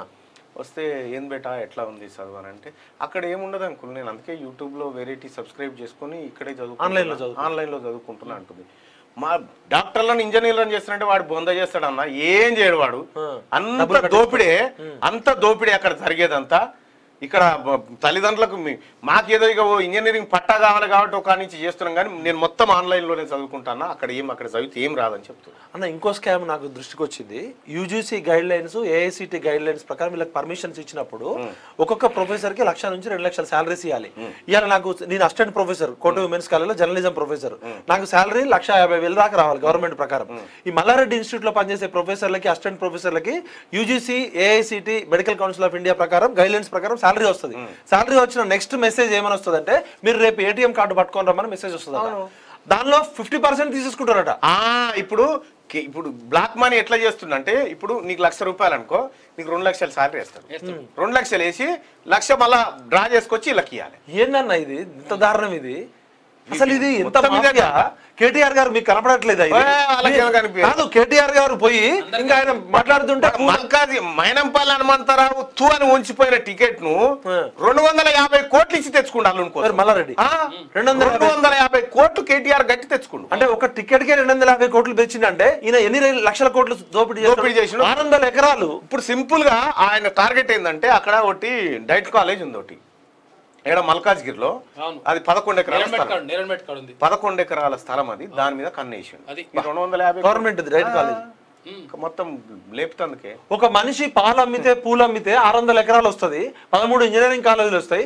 మరి కేసీఆర్ ఏమో ఫామ్ హౌస్లో ఎకరానికి కోటి రూపాయలు వస్తాయి. వీళ్ళు చెప్పాలి కదా మల్లారెడ్డి పూలు అమ్మితే పాలు అమ్మితే ఏ విధంగా ఆరు వందల ఎకరాలు సిగ్గుచేటు మీరు? ఇట్లాంటి వాళ్ళు మంత్రులు పెట్టుకోండి కామెడీ చేస్తూ సీరియస్గా దోపిడీ చేసిండు. బా బా బా బా బా. చెతికిల పడుతున్న సర్కార్ బడి మన ఊరు మన బడితో ప్రయోజనం శూన్యం. లక్ష్యానికి ఆమడ దూరంలో బడులు టెండర్ల దశలోనే కొన్ని స్కూళ్ళు. మరో ఏడాదైనా కంప్లీట్ అవ్వడు అవ్వడు గగనమే. నర్సంపేటలో పెచ్చులుడి విద్యార్థులకు గాయాలైనవి బా ఇక్కడ ఇక్కడ ఈ మన ఊరు మన బడితో ఏం చేసిరంటే ఎంత పెద్ద దోపిడీ అంటే మన ఊరు మన బడితోని పెయింటింగ్ కాంట్రాక్టు డిజిటల్ బోర్డుల కాంట్రాక్టు ఇగో ఈ కాంట్రాక్టు మెగా కంపెనీకి అప్పచెప్పిండు సంతోష్ రావు దగ్గర నిలబడి. అది కూడా మెగానే. ఆ, ఏడు వేల కోట్ల రూపాయల కాంట్రాక్ట్లు. అంటే కాళేశ్వరంలో లక్ష ముప్పై వేల కోట్లు. ఆఖరికి మన ఊరు మన బడిలో కూడా ఏడు వేల కోట్ల కాంట్రాక్ట్. కాంట్రాక్ట్. పెచ్చులుడి పిల్లలకు గాయాలు ఏందని బాత్రూములు గతిలేవు ఈ సరూర్ నగర్ కాడ లేకపోతే మేము కట్టిస్తా అంటే పాపం ఆకుల శ్రీవాణి. పోయి లేదన్నా మేము కట్టిస్తామన్నా మా ఏరియా అని పోయింది. మీరు స్కూల్కి పోయి పుస్తకాలు ఇస్తే మీ మీద ఆ, స్కూల్ పోయి పుస్తకాలు ఇస్తే నేను నేనే ఓట్లు అడుగుతున్నా నా పిల్లల్ని. అరే బుక్స్ కూడా ఉండదు కదన్న బుక్స్ లేవు సార్ అని అంటే గవర్నమెంట్ పంపాల్సిన టెక్స్ట్ బుక్స్ నోట్ బుక్స్ రాలేదు ఇంకా అంటే పిల్లల చదువు ఆగమవుతుంది అని చెప్పి గవర్నమెంట్ స్కూళ్ళల్లో ప్రభుత్వ పాఠశాలలో చదువుతున్నటువంటి పేద పిల్లలకు నోట్ బుక్స్ పదో తరగతి పిల్లలకు ఓ పది బుక్స్ ఈ బుక్స్ పంచి ఇచ్చి అమ్మ బాగా చదువుకోరని వస్తే తీన్మార్ మల్లన్న టీము స్కూళ్ళల్లోకి వస్తే వాళ్ళ సమయం వృధా అవుతుంది కాబట్టి వాళ్ళని రానియొద్దని పెట్టిండే. ఏ మల్లారెడ్డి. అన్న ఈ స్కామ్కు సంబంధించి ఏ కంపెనీలు అయితే టెండర్లో పార్టిసిపేట్ చేసినాయో ఒక బెంచ్ ఒక బోర్డు డిజిటల్ ఇండియాలో బెస్ట్ కంపెనీలు నన్ను స్కామ్ ఏడు వేల రెండు వందల కోట్లు. దాని డీటెయిల్స్ అన్ని మీకు రేపిస్తా. మెగా కృష్ణారెడ్డి అనేటోడు సంతోష్ రావు కలిసి ఎట్లా దోపిడీ చేసారో విత్ ప్రూఫ్స్తో నాగర్ ఆధారాలు ఉన్నాయి. దండిలే ఉంది ఆ తమిళనాడు కంపెనీ వాళ్ళు పాపం వస్తే ఆఖరికి హైకోర్టులో లాయర్లను కూడా మెయింటైన్ చేసారు వాళ్ళ లాయర్లను కూడా కొనేసిర్రు. అవు. ఈ బెస్ట్ కంపెనీ ఈ ఏడు వేల రూపాయల రేటుకి ఇస్తుంది ఇండియా మొత్తంలో. ఆమ్ ఆద్మీ పార్టీ ఢిల్లీలో కూడా అదే కొటేషన్ ఇచ్చిర్రు. ఇండియాలోనే తక్కువ ఖర్చుకి నాణ్యమైన ఇచ్చే కంపెనీని పక్కకు పెట్టి పనికిరాని కంపెనీని ఇచ్చిర్రు. మీరు చెప్పినట్టు పెయింట్లలో కాంట్రాక్టే. ఆ. గొల్లాలు పెట్టే దగ్గర మోసమే. డిజిటల్ బోర్డులు స్కామే. కుర్చీలు బెంచీలు స్కాము. ఇంకా మీరు దేన్ని వదిలిపెడతారా మీరు? అసలు దారుణం. పిల్లలు మన ఊరు బనబడి అని చెప్పి అక్కడ ఆకునూరు మురళి సారు ఆంధ్రప్రదేశ్లో ఇరవై ఏడు వేల స్కూల్ బాగు చేసిండు. చేసిండు. జగన్ దగ్గర డబ్బులు లేకపోయినా కూడా అద్భుతంగా డెవలప్ అయింది. ఆమ్ ఆద్మీ పార్టీ మూడు వేల రెండు వందల స్కూల్ బాగు చేసింది. ఇక్కడ పేరుకు మన ఊరు మనబడి అని చెప్పి ఏలే కాంట్రాక్టర్లకు దోసిపెట్టిరు మన పిల్లలకు వచ్చిన పైసలు. వాళ్ళ పాల పైసలు ఎత్తుకపోయి తిన్నారే బడి పొరగాలి అన్న యాక్చువల్గా మన ఊరు మన బడి కాన్సెప్ట్ వచ్చినప్పుడు ప్రేక్షకులందరికీ ఒక చిన్న ఇన్ఫర్మేషన్ నాకు తెలిసి మన జనగామ బీబీపేట కామారెడ్డి దగ్గర సుభాష్ రెడ్డి గారు అనే ఒక బిజినెస్ మ్యాన్ వాళ్ళ ఊర్లో ఉన్న గవర్నమెంట్ స్కూల్ ఆయన చదువుకున్న స్కూల్కి దగ్గరలో దాదాపు ఆరున్నర కోట్లు పెట్టి స్కూల్ కట్టించిండు. ఆ స్కూల్ ఇనాగ్రేషన్కి కేటీఆర్ గారిని పిలిస్తే ఆ స్కూల్ చూసి ఈ కాన్సెప్ట్ వచ్చింది. ఆయన వాళ్ళ ఊర్లో మూడు కోట్లు పెట్టి పంచాయతీ బిల్డింగ్ కట్టించిండు. రెండు కోట్లు పెట్టి డబుల్ బెడ్రూమ్ ఇల్లాలు కట్టించిండు. మన ఊరు బరవాడికి ఆరున్నర కోట్లు ఆయన కన్నా లక్షల కోట్ల ఆస్తులు ఉన్న వాళ్ళు చాలా మంది నాకు తెలుసు. ఈ మన ఊరు మన బడి కాన్సెప్ట్ కూడా వీళ్ళది కాదు.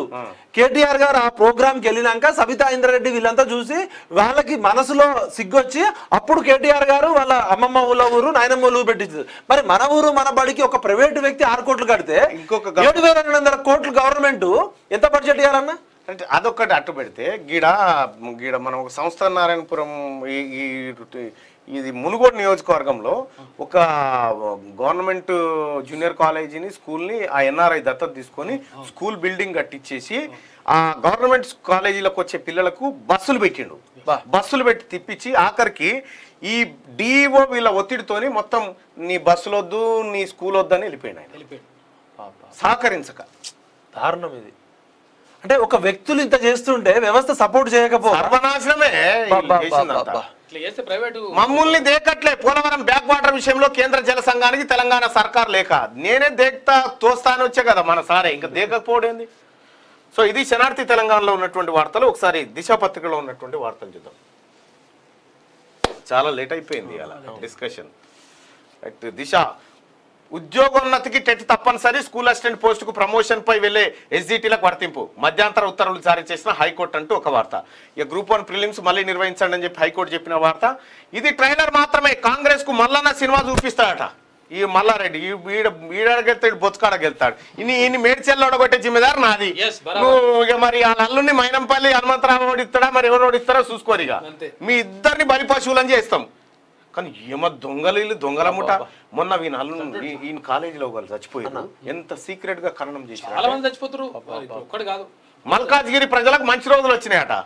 ఈ మేడ్చల్ ప్రజలు అయిపోయింది. ఇక మల్కాజ్గిరి ప్రజలారా మంచి రోజులు వచ్చినంటే ఏంది? ఈయన భాషలో ఉంటాది సత్య సత్య- సత్య రోజులు మంత్రి మల్లారెడ్డి హాట్ కామెంట్స్. ఇంకా మైనంపల్లి హనుమంతరావు అన్న ఓ ల్యాండ్ కబ్జా పెడుతుంటే పోయి బెదిరించిండు. వీడైతే ఉంచనే ఉంచడు. మొత్తం భూమి. మొత్తం ఖతం చేస్తాడు. భూమిని ఆ, అందుబాటులో ఉండి సమస్యలు పరిష్కరిస్తా. మరి రాజశేఖర్ రెడ్డి చెప్తున్నటువంటి ఈగ అల్ మామ అల్లుళ్ళట. ఈడనేమో మామ అల్లుళ్ళు ఈడున్నారుగా. ఈడ మామ అల్లుళ్ళు తయారైనారు. నీలంకు గాలం మధుతో కాంగ్రెస్ ముఖ్య నేతల చర్చలు ముదిరా సన్నిహితులతో మంతనాలు ఇంకా బీఆర్ఎస్ పైన నీలం మధు ఆశలు. ఆయన అడుగులు ఆ అడుగుల వైపు పార్టీలు చూపులు చూస్తా ఉన్నట. పటాన్చర్లో నీలం మధు నిజంగా వాస్తవానికి బలమైన నేతగా ఎదిగిండు ముదిరా సామాజిక వర్గానికి ఒక్క నీలం మధుకు టికెట్ ఇవ్వకపోతే రాష్ట్ర వ్యాప్తంగా ముదిరాజులు రోడ్డెక్కి కూర్చున్నారు. ఎగ్జాక్ట్లీ ఒక సర్పంచ్ నుంచి కష్టపడి వచ్చిన డబ్బుతే సర్పంచ్? ఆయన సంపాదించుకున్న డబ్బులు నైన్టీ పర్సెంట్ వీళ్ళ పేపర్ యాడ్స్ వేసుకున్నారన్న అవు. పేరుకేమో బదనాం చేసిర్రు. రక్తం రాకుండా కోసిపడేసిర్రు. ఆయనకి ఒక సర్పంచ్ నుంచి రాష్ట్ర వ్యాప్తంగా నాయకులు వస్తే మొన్న మనం తాతకృష్ణ పెట్టిన మీటింగ్లో ఎంత మంది ముద్రాజులు వచ్చిర్రు అంత అభిమానం పొందిన నాయకుడు టిఆర్ఎస్ పేపర్లో హైయెస్ట్ యాడ్స్ ఇచ్చింది ఆయనే. ఆయనే. కేటీఆర్ బర్త్డేకి కేసీఆర్ బర్త్డేకి. పాపం సంపాదించుకున్న డబ్బులన్నీ కేసీఆర్కి ఈనాడు అన్ని పేపర్లు ఇచ్చిండు. ఇలా బలీకా బక్రా చేస్తున్నాడు. ఖచ్చితంగా పండగ సాయన వారసులారా ముదిరాజ్ నీలం మధు లాంటి వాళ్ళు ఒక కేసు స్టడీ చాలా మంది ఉన్నారు ఇట్లా. ఒక యాదవులను బలి చేస్తారు ఒక మునూరు కాపులను బలి చేస్తారు ఒక గౌడ్లను బలి చేస్తారు దళితులను బలి చేస్తారు. నీలం మధు ముదిరాజ్ అనేది ఒక కేస్ స్టడీ మాత్రమే. ఇలాంటి కేసులు చాలా ఉన్నాయి మనకి. ఒకరిద్దరండి ముదిరాజు. రక్తం రాకుండా కోస్తున్నారు మీరు. ఆయన కష్టపడి సర్పంచ్ నుంచి ఎదిగితే ఇవాళ ఆయన ఆయన సంపాదించుకున్న ఆస్తి అంతా మీ పేపర్ యాడ్స్కి మీ జన్మదినాల యాడ్స్కి సరిపోయినాయి ఓ అన్న పండగ సాయన్న వారసులు మీరు. దా దా రండి అన్న ఇగో ముదిరాజులు ముదిరాజు బిడ్డలు వచ్చిర్రు కలవడానికి వచ్చిర్రు. ఏం సంగతి అన్న పొద్దున్నే వచ్చిర్రు? వరంగల్ నుంచి వచ్చినామన్నా ఆ, పర్కాల్లో ఆ, ముదిరాల సింహగర్జన పెడుతున్నామే. ఒకటో తారీఖు రోజు. అక్కడ ఉన్నటువంటి హన్మకొండ వరంగల్ జిల్లా భూపాలపల్లి జిల్లాల నుంచి. మరి మాకు కూడా ఈ అసెంబ్లీలో మాకు కూడా అవకాశం ఇవ్వాలి. మేమెంతో మాకంత అనే నినాదంతో. ఒక పెద్ద సింహగర్జన పెడతాను. మిమ్మల్ని కూడా ఇన్వైట్ చేద్దాం అచ్చా ఆహ్వానిస్తారు ఏ రోజు? ఒకటో తారీఖు. ఒకటో తారీఖు ఇగో మా అధ్యక్షుల వారు ఉన్నాడు ఆయన వస్తాడు నేను వస్తా ఖచ్చితంగా వస్తాం. ఏది మన ఇప్పుడు బీసీ వర్కింగ్ కమిటీ దానికి ప్రెసిడెంట్ అన్న నేను కన్వీనర్గా ఉన్నా. ఓకే. చాలా మంది ఉన్నాం. హండ్రెడ్ పర్సెంట్ వస్తాం. మీది న్యాయమైన డిమాండ్ మీకు వాటాలు హండ్రెడ్ పర్సెంట్ రావాలి. మేము రెండోది మేము నీలం మధు టాపిక్ మాట్లాడుతున్నాం. అందుకోసం మీరు గుర్తొచ్చారు నీలం మధుకు ఎంత అవమానం జరిగిందంటే ఇస్- ఆయన రక్తం అంతా తాగారు వీళ్ళు. రక్తం అంతా తాగి ఇప్పుడు కాంగ్రెస్ పార్టీలో ఆయన వైపు చూస్తున్నట్టున్నారు. కానీ వాస్తవానికి బీఆర్ఎస్ నుంచి టికెట్ వస్తుందని బాగా ఆశతో ఉండే. అది లేకుండా పోయింది. ఇప్పుడు అంటే కాంగ్రెస్ పార్టీ మరి ఎంత ఇస్తుందో ఎన్ని ఇస్తుందో తెలియదు.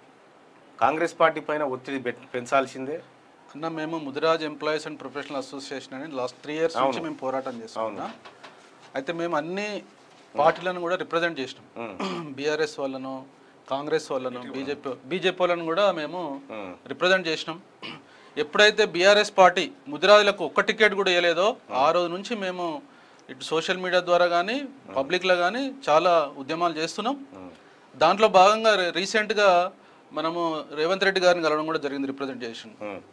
ఎప్పుడైతే పిఆర్ఎస్ ఇవ్వలేదో మేము. ఖచ్చితంగా మీకు ఐదు సీట్లు ఖచ్చితంగా ఇస్తామని చెప్పి మాట్లాడడం జరిగింది.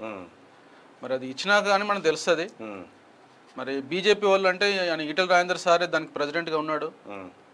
మరి ఆయన ఎన్ని సీట్లు ఇస్తాడనేది మనం వేచి చూడాలి. అది అది వాళ్ళ. నాయకులే చెప్తున్నారు అది గెలిచే పరిస్థితి లేదని. అన్న నేను ఒక బీసీ సోదరుడిగా మీకు రిక్వెస్ట్ చేస్తున్నా. అడుక్కుంటే వచ్చేది ఆత్మగౌరవం కాదు అడుక్కుంటే వచ్చేది అధికారం కాదు. ముదిరాజులు రాజులు మీ పేరులోనే రాజులు ఉంది. వాడెవడో మీకు ఇచ్చేది ఏందన్న? జీరో. మీకు ఇచ్చేది ఏంది? మీరు పండగ సాయన వారసులు ఆత్మగౌరవానికి ప్రతీకలు. దయచేసి ముదిరాజు బిడ్డలారా మీరు ఇవాళ నలభై లక్షల మంది బీసీలలో హైయెస్ట్ క్యాస్ట్ మీరే. మీరు మాకు ఆదర్శంగా ఉండాలి కానీ వాడెవడో సీట్లు వేయలేదని చెప్పి మీరు బాధపడొద్దు. బరాబర్ మీ ఇంటి ముందు అగ్రవర్ణ పార్టీలు వచ్చేటట్టు తయారు చేయండి. మీరు ఆశ మీరు నిరాశ పడకండి వాడు చేసిన అవమానానికి ప్రతిగా ఒక్క ముదిరాజు ఓటు ఒక్క బీసీ ఓటు కూడా టీఆర్ఎస్ పడకుండా చేయండి. మీరు ఇలా బ్యామ్సెఫ్ లాగా పనిచేయండి. మీ మీ రాజకీయ పార్టీలు మీ కుటుంబాలు మీ పిల్లల మీరు ముందు నడిస్తే ఎన్ని కులాలు నడుస్తాయి. మీరు బాయ్కాట్ చేయండి నిన్ననే చూసినామన్నా మీరు అన్న కాన్సెప్ట్ బాగుంది. ఏంటంటే రాజకీయ పొత్తు కాదు కులాల పొత్తు కులాల అన్నారు. పొత్తు.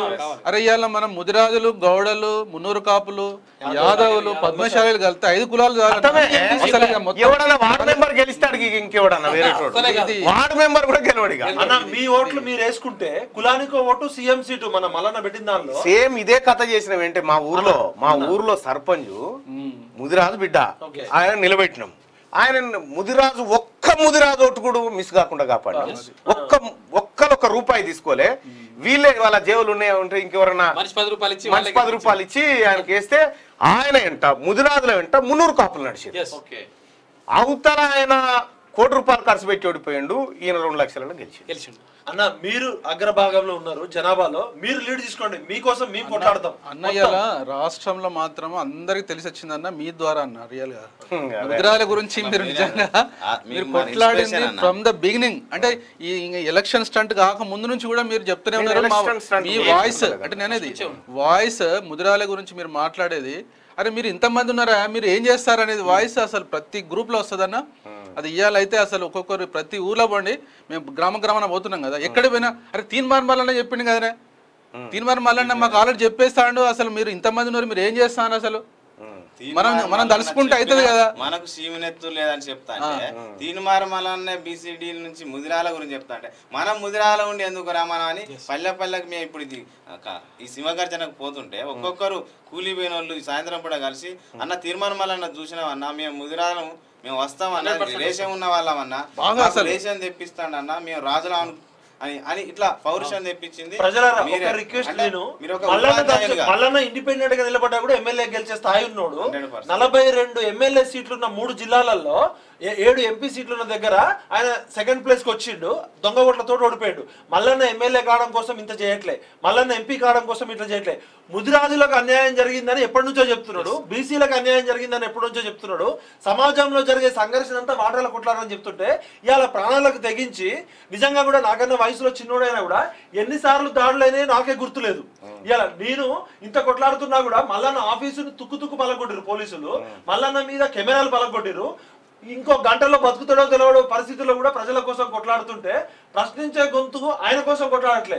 ఆయన మెజారిటీ ప్రజల కోసం నేను నాలుగు కోట్ల నేను ప్రజల ఎందుకు- కోసం నేను కొట్లాడుతున్నాడు. నా కొట్లాటలో పది నిమిషాలు నా కుటుంబానికి కేటాయించుకున్నా నా కుటుంబం జీవితాంతం బతికేంత చేసేటోని నేను.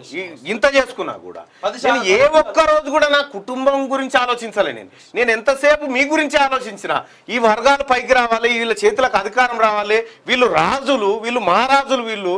ఆ, వీళ్ళు ఒక్కటన్న నీలం మద అన్న ఇలా స్టేట్మెంట్ ఫిగర్ చేసింది మీరన్న. అంటే ఆయన అంత కెపాసిటీ ఉన్నది ఇట్లాంటి వాళ్ళని మీరు కనుక ఇంకా ముందుకు తీసుకొస్తే ఇంకా ఇట్లాంటి వాళ్ళు చాలా మంది ఉన్నారు. ముదిరాజు కులం నుంచి ఈ పార్టీలకు ఈ పార్టీలకు ఊడిగం చేసేటువంటి ఇవాళ ప్రతి ఎమ్మెల్యే దగ్గర కూడా ఊడిగం చేసేదంతా మా ఊళ్ళే అన్న. Hundred percent. నేను ఇవాళ- నేను మొన్న మొన్న ఒక స్టేట్మెంట్ ఇచ్చిన నేనే. తెలంగాణ రాష్ట్రంలో బీసీల చేతికి అధికారం వస్తే మొదటి ముఖ్యమంత్రి ముదిరాజు బిడ్డ కావాలని చెప్పినాం.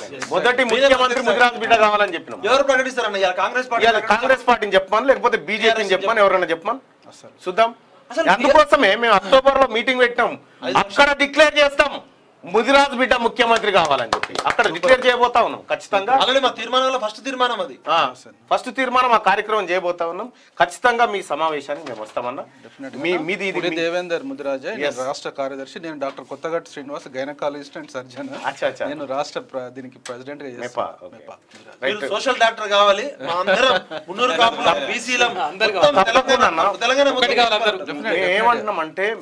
కూడా కలుపుకుందాం. మీరు మీరు ముందుకు పోతే మీ వెనకాల సమాజం ఉంది. మీరు సమాజాన్ని నడిపించే శక్తి ఉంది మీ దగ్గర. ఆ పని చేయండి. ఖచ్చితంగా ఎన్ని తారీఖు అంటారు? పరకాల? ఒకటో తారీఖు సండే. సండే రోజు. సండే రోజు విఠలన్న వస్తాడు నేను వస్తా. ఆ సింహ గర్జన పెడతారా? ఏ గర్జన పెడతారా? పెట్టండి. వందకు వంద శాతం మేము హాజరవుతాం దానికి. ఇక్కడ ఉన్న ప్రజలకు కూడా చెప్తా ఉన్నాం పరకాల కాడికి రండి ముదిరా సోదరులారా బీసీ సోదరులారా రండి. వీళ్ళ కండగా నిలబడాల్సిందే. బీసీలు ఎవరున్నారో ఓన్లీ ముదిరాజులే కాదు మున్నూరు కాపు యాదవ్ సాకలి మంగలి కుమ్మరి కమ్మరి అందరు రండి ఆ మీటింగ్. అందరు రండి అందరు కలిసి. అందరం కలిసి రాజ్యాన్ని సాధించుకుందాం. అంతే. అందరం కలిసి చేద్దాం ఈ పని. పండగ సాయాన్న వారసులు మీరు ఈ తెలంగాణ సమాజానికి దిక్సూచి మీరు. బీసీలలో పెద్ద కులం మీదే కాబట్టి మీరు అడుగు వేసి మీరు మీరు సీఎంలు కావాలని మేము కోరుతున్నాం. Mudiraj employees and professionals association Telangana రాష్ట్ర కమిటీ ఆధ్వర్యంలో అక్టోబర్ ఒకటో తారీఖును పరకాల నియోజకవర్గంలో మహాసింహగర్జన బైక్ ర్యాలీ నిర్వహించడం జరిగింది. మా అధ్యక్షులు గారు డాక్టర్ కొత్తగాటి శ్రీనివాస్ రాష్ట్ర అధ్యక్షులు నేను రాష్ట్ర ప్రధాన కార్యదర్శి పులి దేవేందర్ ముదిరాజు. రాష్ట్ర వ్యాప్తంగా ఉన్న ముప్పై మూడు జిల్లాల నుండి అందరూ వేలాదిగా తరలివచ్చి ఇది జాతి ఐక్యత కోసం జాతి అభివృద్ధి కోసం విద్య ఉద్యోగ సాధికారత కోసం ఏర్పాటు చేసినటువంటి సభ. ఇది మన రాజ్యాధికారం ఆత్మగౌరవానికి ప్రతీకగా ఎవరికి బానిస కాకుండా మన రాజ్యాన్ని మనం నిర్మించుకుందాం. మన బతుకులు మనం బతుకుదాం. బానిస బతుకులు బతు బతకకుండా బాంఛానిగిరి చేయకుండా ఎవరికి వెళ్ళకుండా మనం మనం రాజ్యాన్ని నిర్మించుకొని మన రానున్న రోజులు ముదిరాదులే అని ఈ ప్రపంచానికి చాటి చెప్పింది ఏకైక వ్యక్తి తీర్మార్ మల్లన్న. తీర్మార్ మల్లన్న గారు అక్టోబర్ ఒకటి తారీఖున మన పరకాలకు విచ్చేస్తున్నందుకు సంతోషాన్ని తెలియజేస్తూ ఈ యొక్క సమాచారాన్ని మన అందరికీ షేర్ చేస్తూ గడప గడపకు పల్లె పల్లెకు ముసలికి ముతుకకు నర నరాల్లోన ప్రవహిస్తున్న ముదిరాజు బిడ్డలారా మీకు పౌరుషం లేదా? విద్యా ఉద్యోగాలు లేవు రాజ్యాధికారం లేదు చదువుకున్న వారు లేరు చదువుకున్న మధ్యలోనే ఆపేస్తున్నారు. మరి ఎందుకు ఈ రాజ్యాధికారం నిర్మించుకోవడానికి మనం ఏకం కాకూడదు అనేటువంటి తీర్మానం అలా ఎప్పటి నుండో చెప్తున్నాడు. ఇలాంటి వాయిస్ను అన్నను ఆదర్శంగా తీసుకొని మనం బడుగు బలహీన వర్గాలం అందరం ఏకమైదాం మన రాజ్యాన్ని నిర్మించుకుందామని తెలియజేస్తూ ఒక్కసారి బలహీన వర్గం. బలమైన వర్గం. బలమైన వర్గం. బలహీనం అనేటువంటి మాట రావద్దు. లేదు అగ్ర కులం అంటే అగ్ర అంటే ఎక్కువ ఎక్కువ సంఖ్యలో ఉన్న కులం ఏంటిది అంటే మనది. మనం ఎస్ ముదిరాజు అంటే అగ్ర కులస్తులం. అగ్ర. ఎక్కువ సంఖ్యలో ఉన్న అంతే కదా. అగ్ర అంటే ఎక్కువ, అగ్ర అంటే ఎక్కువ కదా. ఎక్కువ అగ్రభాగం అన్నింటిలో. అగ్రభాగం. జ్ఞానంలో అగ్ర- జనాభాలో. అది అగ్ర కులస్తులం అగ్ర మనం. కులస్తులం మనం. బలమైన వర్గాలం. బలహీన వర్గాలం కాదు. ఆ, గది కథ. మన టాపిక్ రాగానే కరెంట్ పోతుంది చూడు. ఇవన్నీ కథలు ఉంటాయి. తప్పకుండా వస్తుంది దేవేంద్ర అన్న. అన్న ఒక్క నిమిషం అన్న. గంగపుత్రులు బెస్తా తెనుగోళ్ళు అసలు ఇవాళ రాజకీయ పార్టీ నాయకులు హైదరాబాద్లో అగ్రకులాలు ప్రశాంతంగా వాళ్ళు ఉన్నారు కదా కేసీఆర్కి ఫస్ట్ రైట్ లెఫ్ట్ ఉన్నది మెట్టు సూర్యప్రకాష్ అన్న ముదిరాజు గంగపుత్రుడు. ఇవాళ అన్ని పార్టీల నాయకులు. అన్ని పార్టీల నాయకుల కన్నా అన్ని పార్టీల నాయకులకి లెఫ్ట్ రైట్ ఆర్మీ ఉన్నది. మీ గంగపుత్రులు మీ బెస్ట్ వాళ్ళు మీ ముదిరాజులే. మీరు పండగ సాయన వారసులు. మీ శక్తి మీరు తెలుసుకోండి అన్న. దయచేసి నేను మీకు పాదాభివందనాలు చేసి రిక్వెస్ట్ చేస్తున్నా. మీరు మీ వాటా మీకు దక్కేదాకా మేము చెప్తా ఉన్నా. కదా. అధ్యక్షుడే పరకాలకు రండి కలుసుకుందాం. పరకాలలో కలుద్దాం. అన్ని కులాలు రావాలి. కులానికి ఒక పదివేల మంది రావాలి. అది జన జాతర కావాలి జన ప్రపంచం కావాలి. నువ్వు నేను కలిస్తే మనం. మనం మనం కలిస్తే జనం.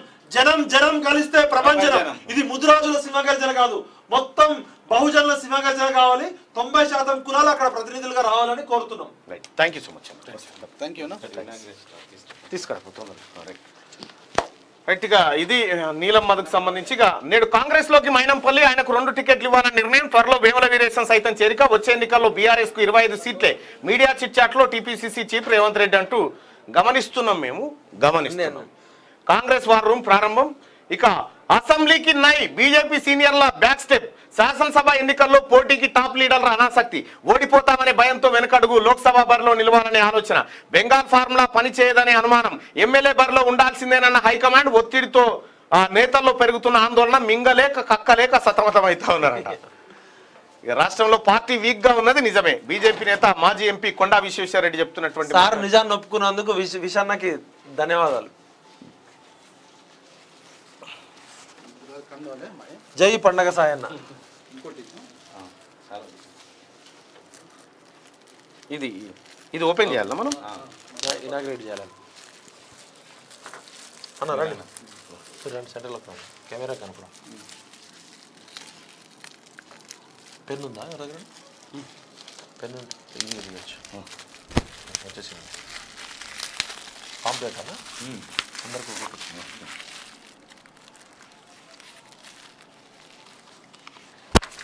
హలో ముదిరాజ్ చలో పర్కాల్. ముదిరాజ్ సింహ గర్జన. హలో ముదిరాజ్ చలో పర్కాల్. హలో ముదిరాజ్. చలో పర్కాల్. హలో ముదిరాజ్. చలో పర్కాల్. హలో మేమెంతో? మాకంతా. మేమెంతో? మాకంతా. హలో బీసీ వాళ్ళ- వాళ్ళెంతో వాళ్ళకంతా. మీరెంతో వాళ్ళెంతో వాళ్ళకంతా. వాళ్ళెంతో వాళ్ళకంతా. మనకంతా. మీరెంతో మీకు అంతే కలుద్దామన్న. పర్కాల్. హలో బీసీ చలో పర్కాల్. ఎందుకన్నా? ఈ మనకు మనం గౌరవించుకోవాలని మీరే అదే అన్న. కరెక్టే. న్యూస్లో మన సర్దార్ సర్వాయి పాప. రండి మీరు కూడా రండి. మా బీసీ సంఘాల ఐక్య కార్యాచరణ కమిటీ డబ్ల్యూసీ నుంచి మీకు సన్మానం చేస్తున్నాం. డాక్టర్ ఎందుకంటే మీరు పోరాట. బీసీడబ్ల్యూసీ తరపున మీకు సార్. ఓకేనా థ్యాంక్ యూ సో మచ్.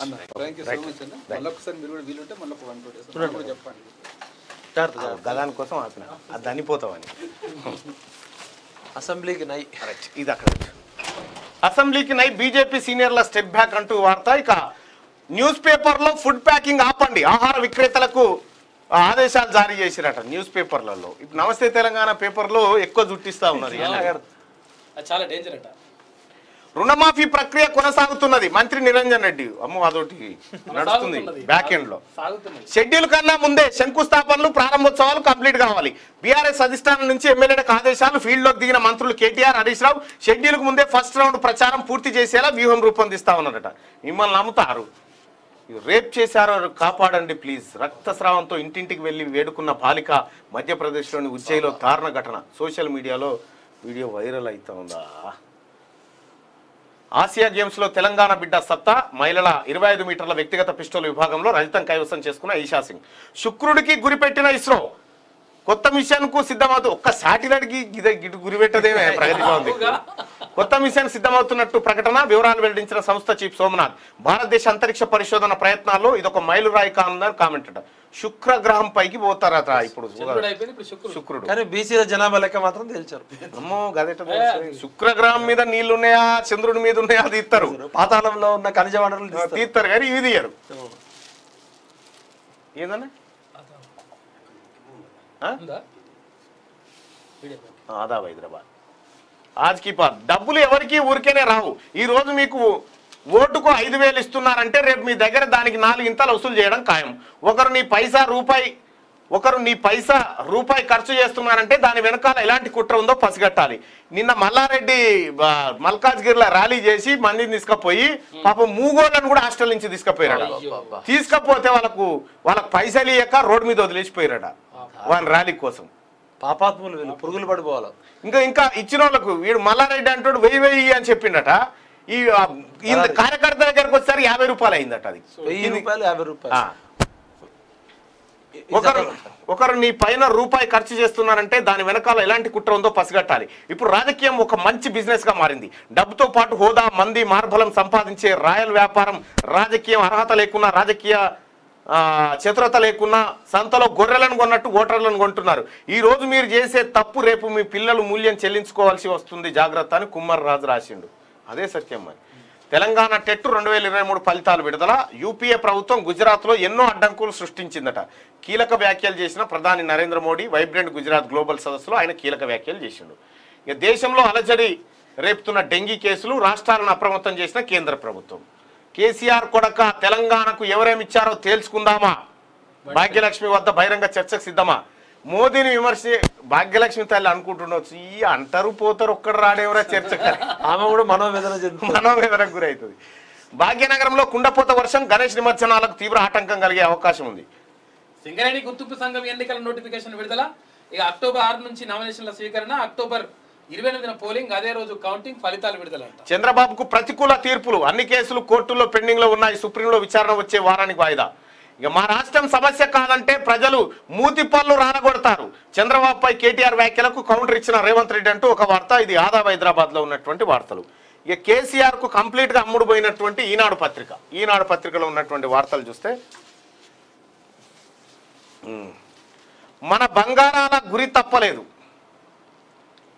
బంగారు పథకాలు పెంచు. ఓ అబద్ధాల ఆట పెడితే నెంబర్ వన్ అన్ని బహుమతులు అన్ని వచ్చు. అంతే. అబద్ధాలకి పుట్టినిల్లు care of address first second Chandrababu case మూడవ తేదీకి వాయిదా. ఆ గ్రూప్ వన్ రద్దు సబబే ప్రిలిమ్స్ మళ్ళీ నిర్వహించాలన్న సింగిల్ జడ్జి నిర్ణయం సమర్థనీయమే. టీఎస్పీఎస్సీ అప్పీల్ను కొట్టివేసిన హైకోర్టు. ఇక్కడ ప్రభుత్వ నిర్లక్ష్యం ఏం లేదన్నట్టుగా రాసుకోవచ్చు కేసీఆర్ అసలు వాళ్ళకి అంటదాయిగా సింగరేణిలో ఎన్నికల సైరన్ వచ్చే నెల ఇరవై ఎనిమిదిన గుర్తింపు సంఘం ఎన్నికలు నిర్వహించబోతా ఉన్నారు. సింగరేణి కార్మికులారా మీరిచ్చే ధైర్యం కావాలి ఇప్పుడు. ఇప్పుడు తెలంగాణ ప్రజలకు మీరిచ్చే ధైర్యం కావాలి. టిఆర్ఎస్ పార్టీని ఆ బొగ్గు బావిలో లోపల పిల్ల కింద తొక్కిరారి సింగరేణి బొగ్గు గని తెలంగాణ బొగ్గు గని కార్మిక సంఘం ఉందిగా దాన్ని మొత్తం అడుగు పిల్ల దాకా తొక్కిరారి ఎట్టి పరిస్థితిలో మీకు బంగారం పంచుతాడు మీకు యాటలు కోస్తాడు మీకు దావతులు ఇస్తాడు మీకు ఏది జీతాలలో వాటా పంచుతా ఉన్నా అంటాడు లాభాలలో వాటా ఏది పంచినా తీసుకోరి. తీసుకోరి. వాని సొమ్ము కాదు మీదే. సింగరేణి కార్మికులారా తెలంగాణ ఉద్యమంలో మీరు దివిటిలై మండిర్రు మీ బొగ్గే. వెలుతురు చూపెట్టింది ఇవాళ తెలంగాణ రాష్ట్రాన్ని కాపాడుకోవడానికి కూడా మీ ప్రయత్నం ఉండాలి. అన్న మా ఊరు కొత్తగూడెము. నేను పుట్టింది సింగరేణి స్కూల్. నేను చదువుకుంది సింగరేణి. సింగరేణి బొగ్గు బాయిలో అగ్గి బరాటాలై నిప్పు కనికలై నిప్పుల వాగులో పాతి పెట్టండి. ఇవాళ అరవై వేల కోట్ల కాంట్రాక్ట్లు అన్న సింగరేణి అప్పుడు నాలుగు ఉమ్మడి జిల్లాలలో మొత్తం ఇవాళ శ్రీధర్ అనేటోడు కవితక్క గోపాలరావు అనేటోడు ఇసుక బొగ్గుబాయి తవ్వినాక ఇసుక పుడతారు కూడా. ఆ కాంట్రాక్టర్ కూడా వీళ్ళదే. సింగరేణిలో అవుట్ సోర్సింగ్ ఉద్యోగాలు అమ్ముకున్నారు. కాంట్రాక్ట్ ఉద్యోగాలు అమ్ముకున్నారు. దగ్గర దగ్గర ఇవాళ సింగరేణిలో జరిగిన ప్రతి దానిలో స్కామ్ ఉంది. దయచేసి సింగరేణి చైతన్యానికి ప్రతీక. ఎన్నో ఉద్యమాలకి విప్లవాలకి పుట్టినిల్లు. మీరు నల్ల బంగారాన్ని కొంగు బంగారం లాగా తెలంగాణ బంగారం కాపాడుకోకపోతే మీకు బొగ్గు కూడా మిగలదు. బొగ్గును కూడా అమ్మేస్తారు బూడిద కూడా మిగలదు. ఏముండదు? దుబాయ్ బొంబాయి బొగ్గుబాయి. నేను చెప్పినగా దుబాయ్నేమో కేటీ రామారావు గుత్తపట్టిండు బొగ్గుబాయిలని బిడ్డ గుత్తపట్టింది ఆయనేమో బొంబాయి. బొంబాయి. బొంబాయి సేమ్ బొంబాయి కథలే. బొంబాయి పోతుండుగా? పోతుండు. మహారాష్ట్ర కథ. ఈ దుబాయ్ బొంబాయి బొగ్గుబాయి ముచ్చట మన చెప్పి వీళ్ళు వీళ్ళు దాని మీద దోపిడి దిగి కాంగ్రెస్ కే వారంటీ లేదు. ఈయనకు చాలా గ్యారంటీ ఉంది. ఆయనకు మ్యాండేటరీ ఇచ్చారు గ్యారంటీ ఉంది గ్యారంటీ ఉంది కేటీ రామారావు వార్త లేకుంటే ఈనాడు ప్రింట్ అయి తొట్టు. ఇంకా జర పెద్దగా వేస్తాడు ఫోటో. ఎంత పేడ్ ఆర్టికల్స్ అన్ని విడతల వారిగా పేడ్ ఆర్టికల్స్ అంటే పైసలు ఇచ్చేది యాడ్ రూప్ యాడ్కు యాడ్కు పైసలు కడతారు. పైసలు బ్లాక్లో పోతాయి. కానీ వార్త రూపంలో వేస్తారు అన్నట్టు దయచేసి జాగ్రత్తగా ఉండండి. జాగ్రత్తగా ఉండండి. ఇది న్యూస్ కాదు. ఇది న్యూస్ కాదు. యాడ్ ఇది. విడతల వారిగానే అభ్యర్థుల ప్రకటన. ఏ మంత్రి దాన్ని వస్తాదా ఇట్లా రోజు. రోజు. రోజు. విడతల వారిగానే అభ్యర్థుల ప్రకటన. నేడు ఢిల్లీలో మైనంపల్లి చేరిక పిసిసి అధ్యక్షుడు రేవంత్ రెడ్డి. చిట్టి తల్లి నీకు ఎంత కష్టం అంటూ అత్యాచారం. అది చదవడానికే బాధ అనిపిస్తుంది.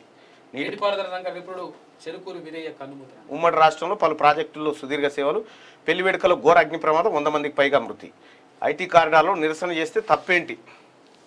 ఇక్కడ ఇక్కడ చంద్రబాబుకి అక్కడ అన్యాయం జరుగుతుందని రాస్తాడు ఈయన. ఇక్కడ ప్రతిపక్షాలకు అన్యాయం జరుగుతుందని రాయడు. ప్రభుత్వం మంచిగా చేస్తుందని రాస్తాడు మూడు వేల ఎకరాల కొత్త స్పిరిచువల్ ఈడ. ఈడ కేసీఆర్ కుటుంబం చేసిన దోపిడి అక్కడ జగన్ చేసిన ఈనాడు ఇట్లా. ఎల్లో మీడియా మొత్తం. ఓటర్లు ఉన్నారు ఓటు హక్కు వినియోగించుకుంటున్నారు.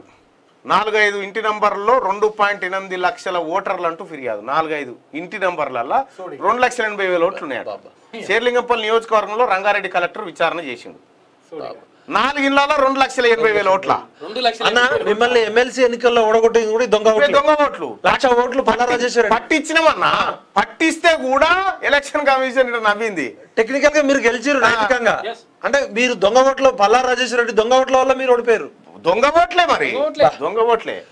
ఇప్పుడు కేసీఆర్ గెలిచింది మొన్న ఇరవై ఐదు లక్షల అసలైన ఓట్లు తీసేసి. తీసేసి. చూడండి ప్రజలారా. ఉపాధ్యాయ ఓటు నమోదు చేసుకోండి యువకులారా. మీ ఓట్లు ఉన్నాయా లేదా చెక్ చేసుకోండి. ఉపాధ్యాయ పదోన్నతులకు బ్రేకు. టెట్ ఉత్తీర్ణులైన సీనియర్ల టీచర్ సీనియర్ జాబితా సమర్పించాలని హైకోర్టు ఆదేశం. ఇక రెండు పడక గదుల ఇల్లు. ఇక తలసాని శ్రీనివాస్ యాదవ్ పోటు వేయాల్సి వచ్చినప్పుడు దొంగ లెక్క. కేటీ రామారావు పోటు వేస్తే ఒక హీరో లెక్క. మొత్తం ఆయనే. మహేష్ బాబుకు పోటీగా ఆ, మహేష్ బాబు లేడు ఇక ఈయననే అన్నట్టు. ఇక. ఈమె. ఇక చూసుకో ఈమె. ఈమెకి ఏమి శరం అనిపించేది గ్రూప్ వన్ రద్దు సబబే. పెట్టుబడుల ఆకర్షణలో కేటీఆర్ ది గ్రేట్ కేటీఆర్ అట. ఆ, చూడిగా ఇప్పుడు కేటీఆర్ ఓ పని చేయరాదు అటు బీఆర్ గీఆర్ దిక్కు అటు అటు పోతే బెటరు. వాళ్ళకి ఆకర్షణ చేయపో పాకిస్తాన్ పాకిస్తాన్ పోయి ఆడ ఆ సైనికులే ప- ప- పది లక్షల ఎకరాలలో పంటలు పండిస్తున్నారు. ఆహార ధాన్యాలు గాడికి సొంతూరుకి పుట్టినింటికి పోతే అయిపోద్ది. ఆయన ప్రోత్సాహంతోనే తెలంగాణ పరిశ్రమలు వస్తున్నాయట. అసలు అంతకుముందు ఏమి లేవు. ఇంకా నయ్యం ఈ ఈమె రాసు కే కేటీ రామారావు పిఈ బంగారం కంటే ఎక్కువ ధర అని రాస్తుంది. అయిపోయింది. కథం. ఇక ఈ మా మా కొడుకు దొర కొడుకు చదువురి. ఈ లుల్లులో లుల్లు గేలు గిల్లులేదు ఫ్రాంచైజీ కొన్నారు. ఇది కేటీ రామారావు పెట్టుబడులే ఇవి. మన సొమ్మే ఎత్తుకపోయి దొంగతనంగా మళ్ళా తెచ్చి ఈ రూపంలో వేరేటంతో పెట్టుబడి పెట్టిస్తున్నామని చెప్పిరయ్యా. దాదాపు పది అయింది సార్ ఇలా మరి ఎనడగాలి Geetiga thank you so much BCWC అధ్యక్షులు విఠల్ గారికి ధన్యవాదాలు. అలాగే పరకాల్లో కలుద్దాం. ఇవాళ ఒట్టె జానయ్య బర్త్డే ఉంది. ఆయనకు జన్మదిన శుభాకాంక్షలు తెలుపుతూ ప్రజలారా ఫేక్ వీడియోలు రెడీ చేస్తూ ఉంది టీఆర్ఎస్ పార్టీ. తస్మాత్ జాగ్రత్తగా ఉండండి. Fake video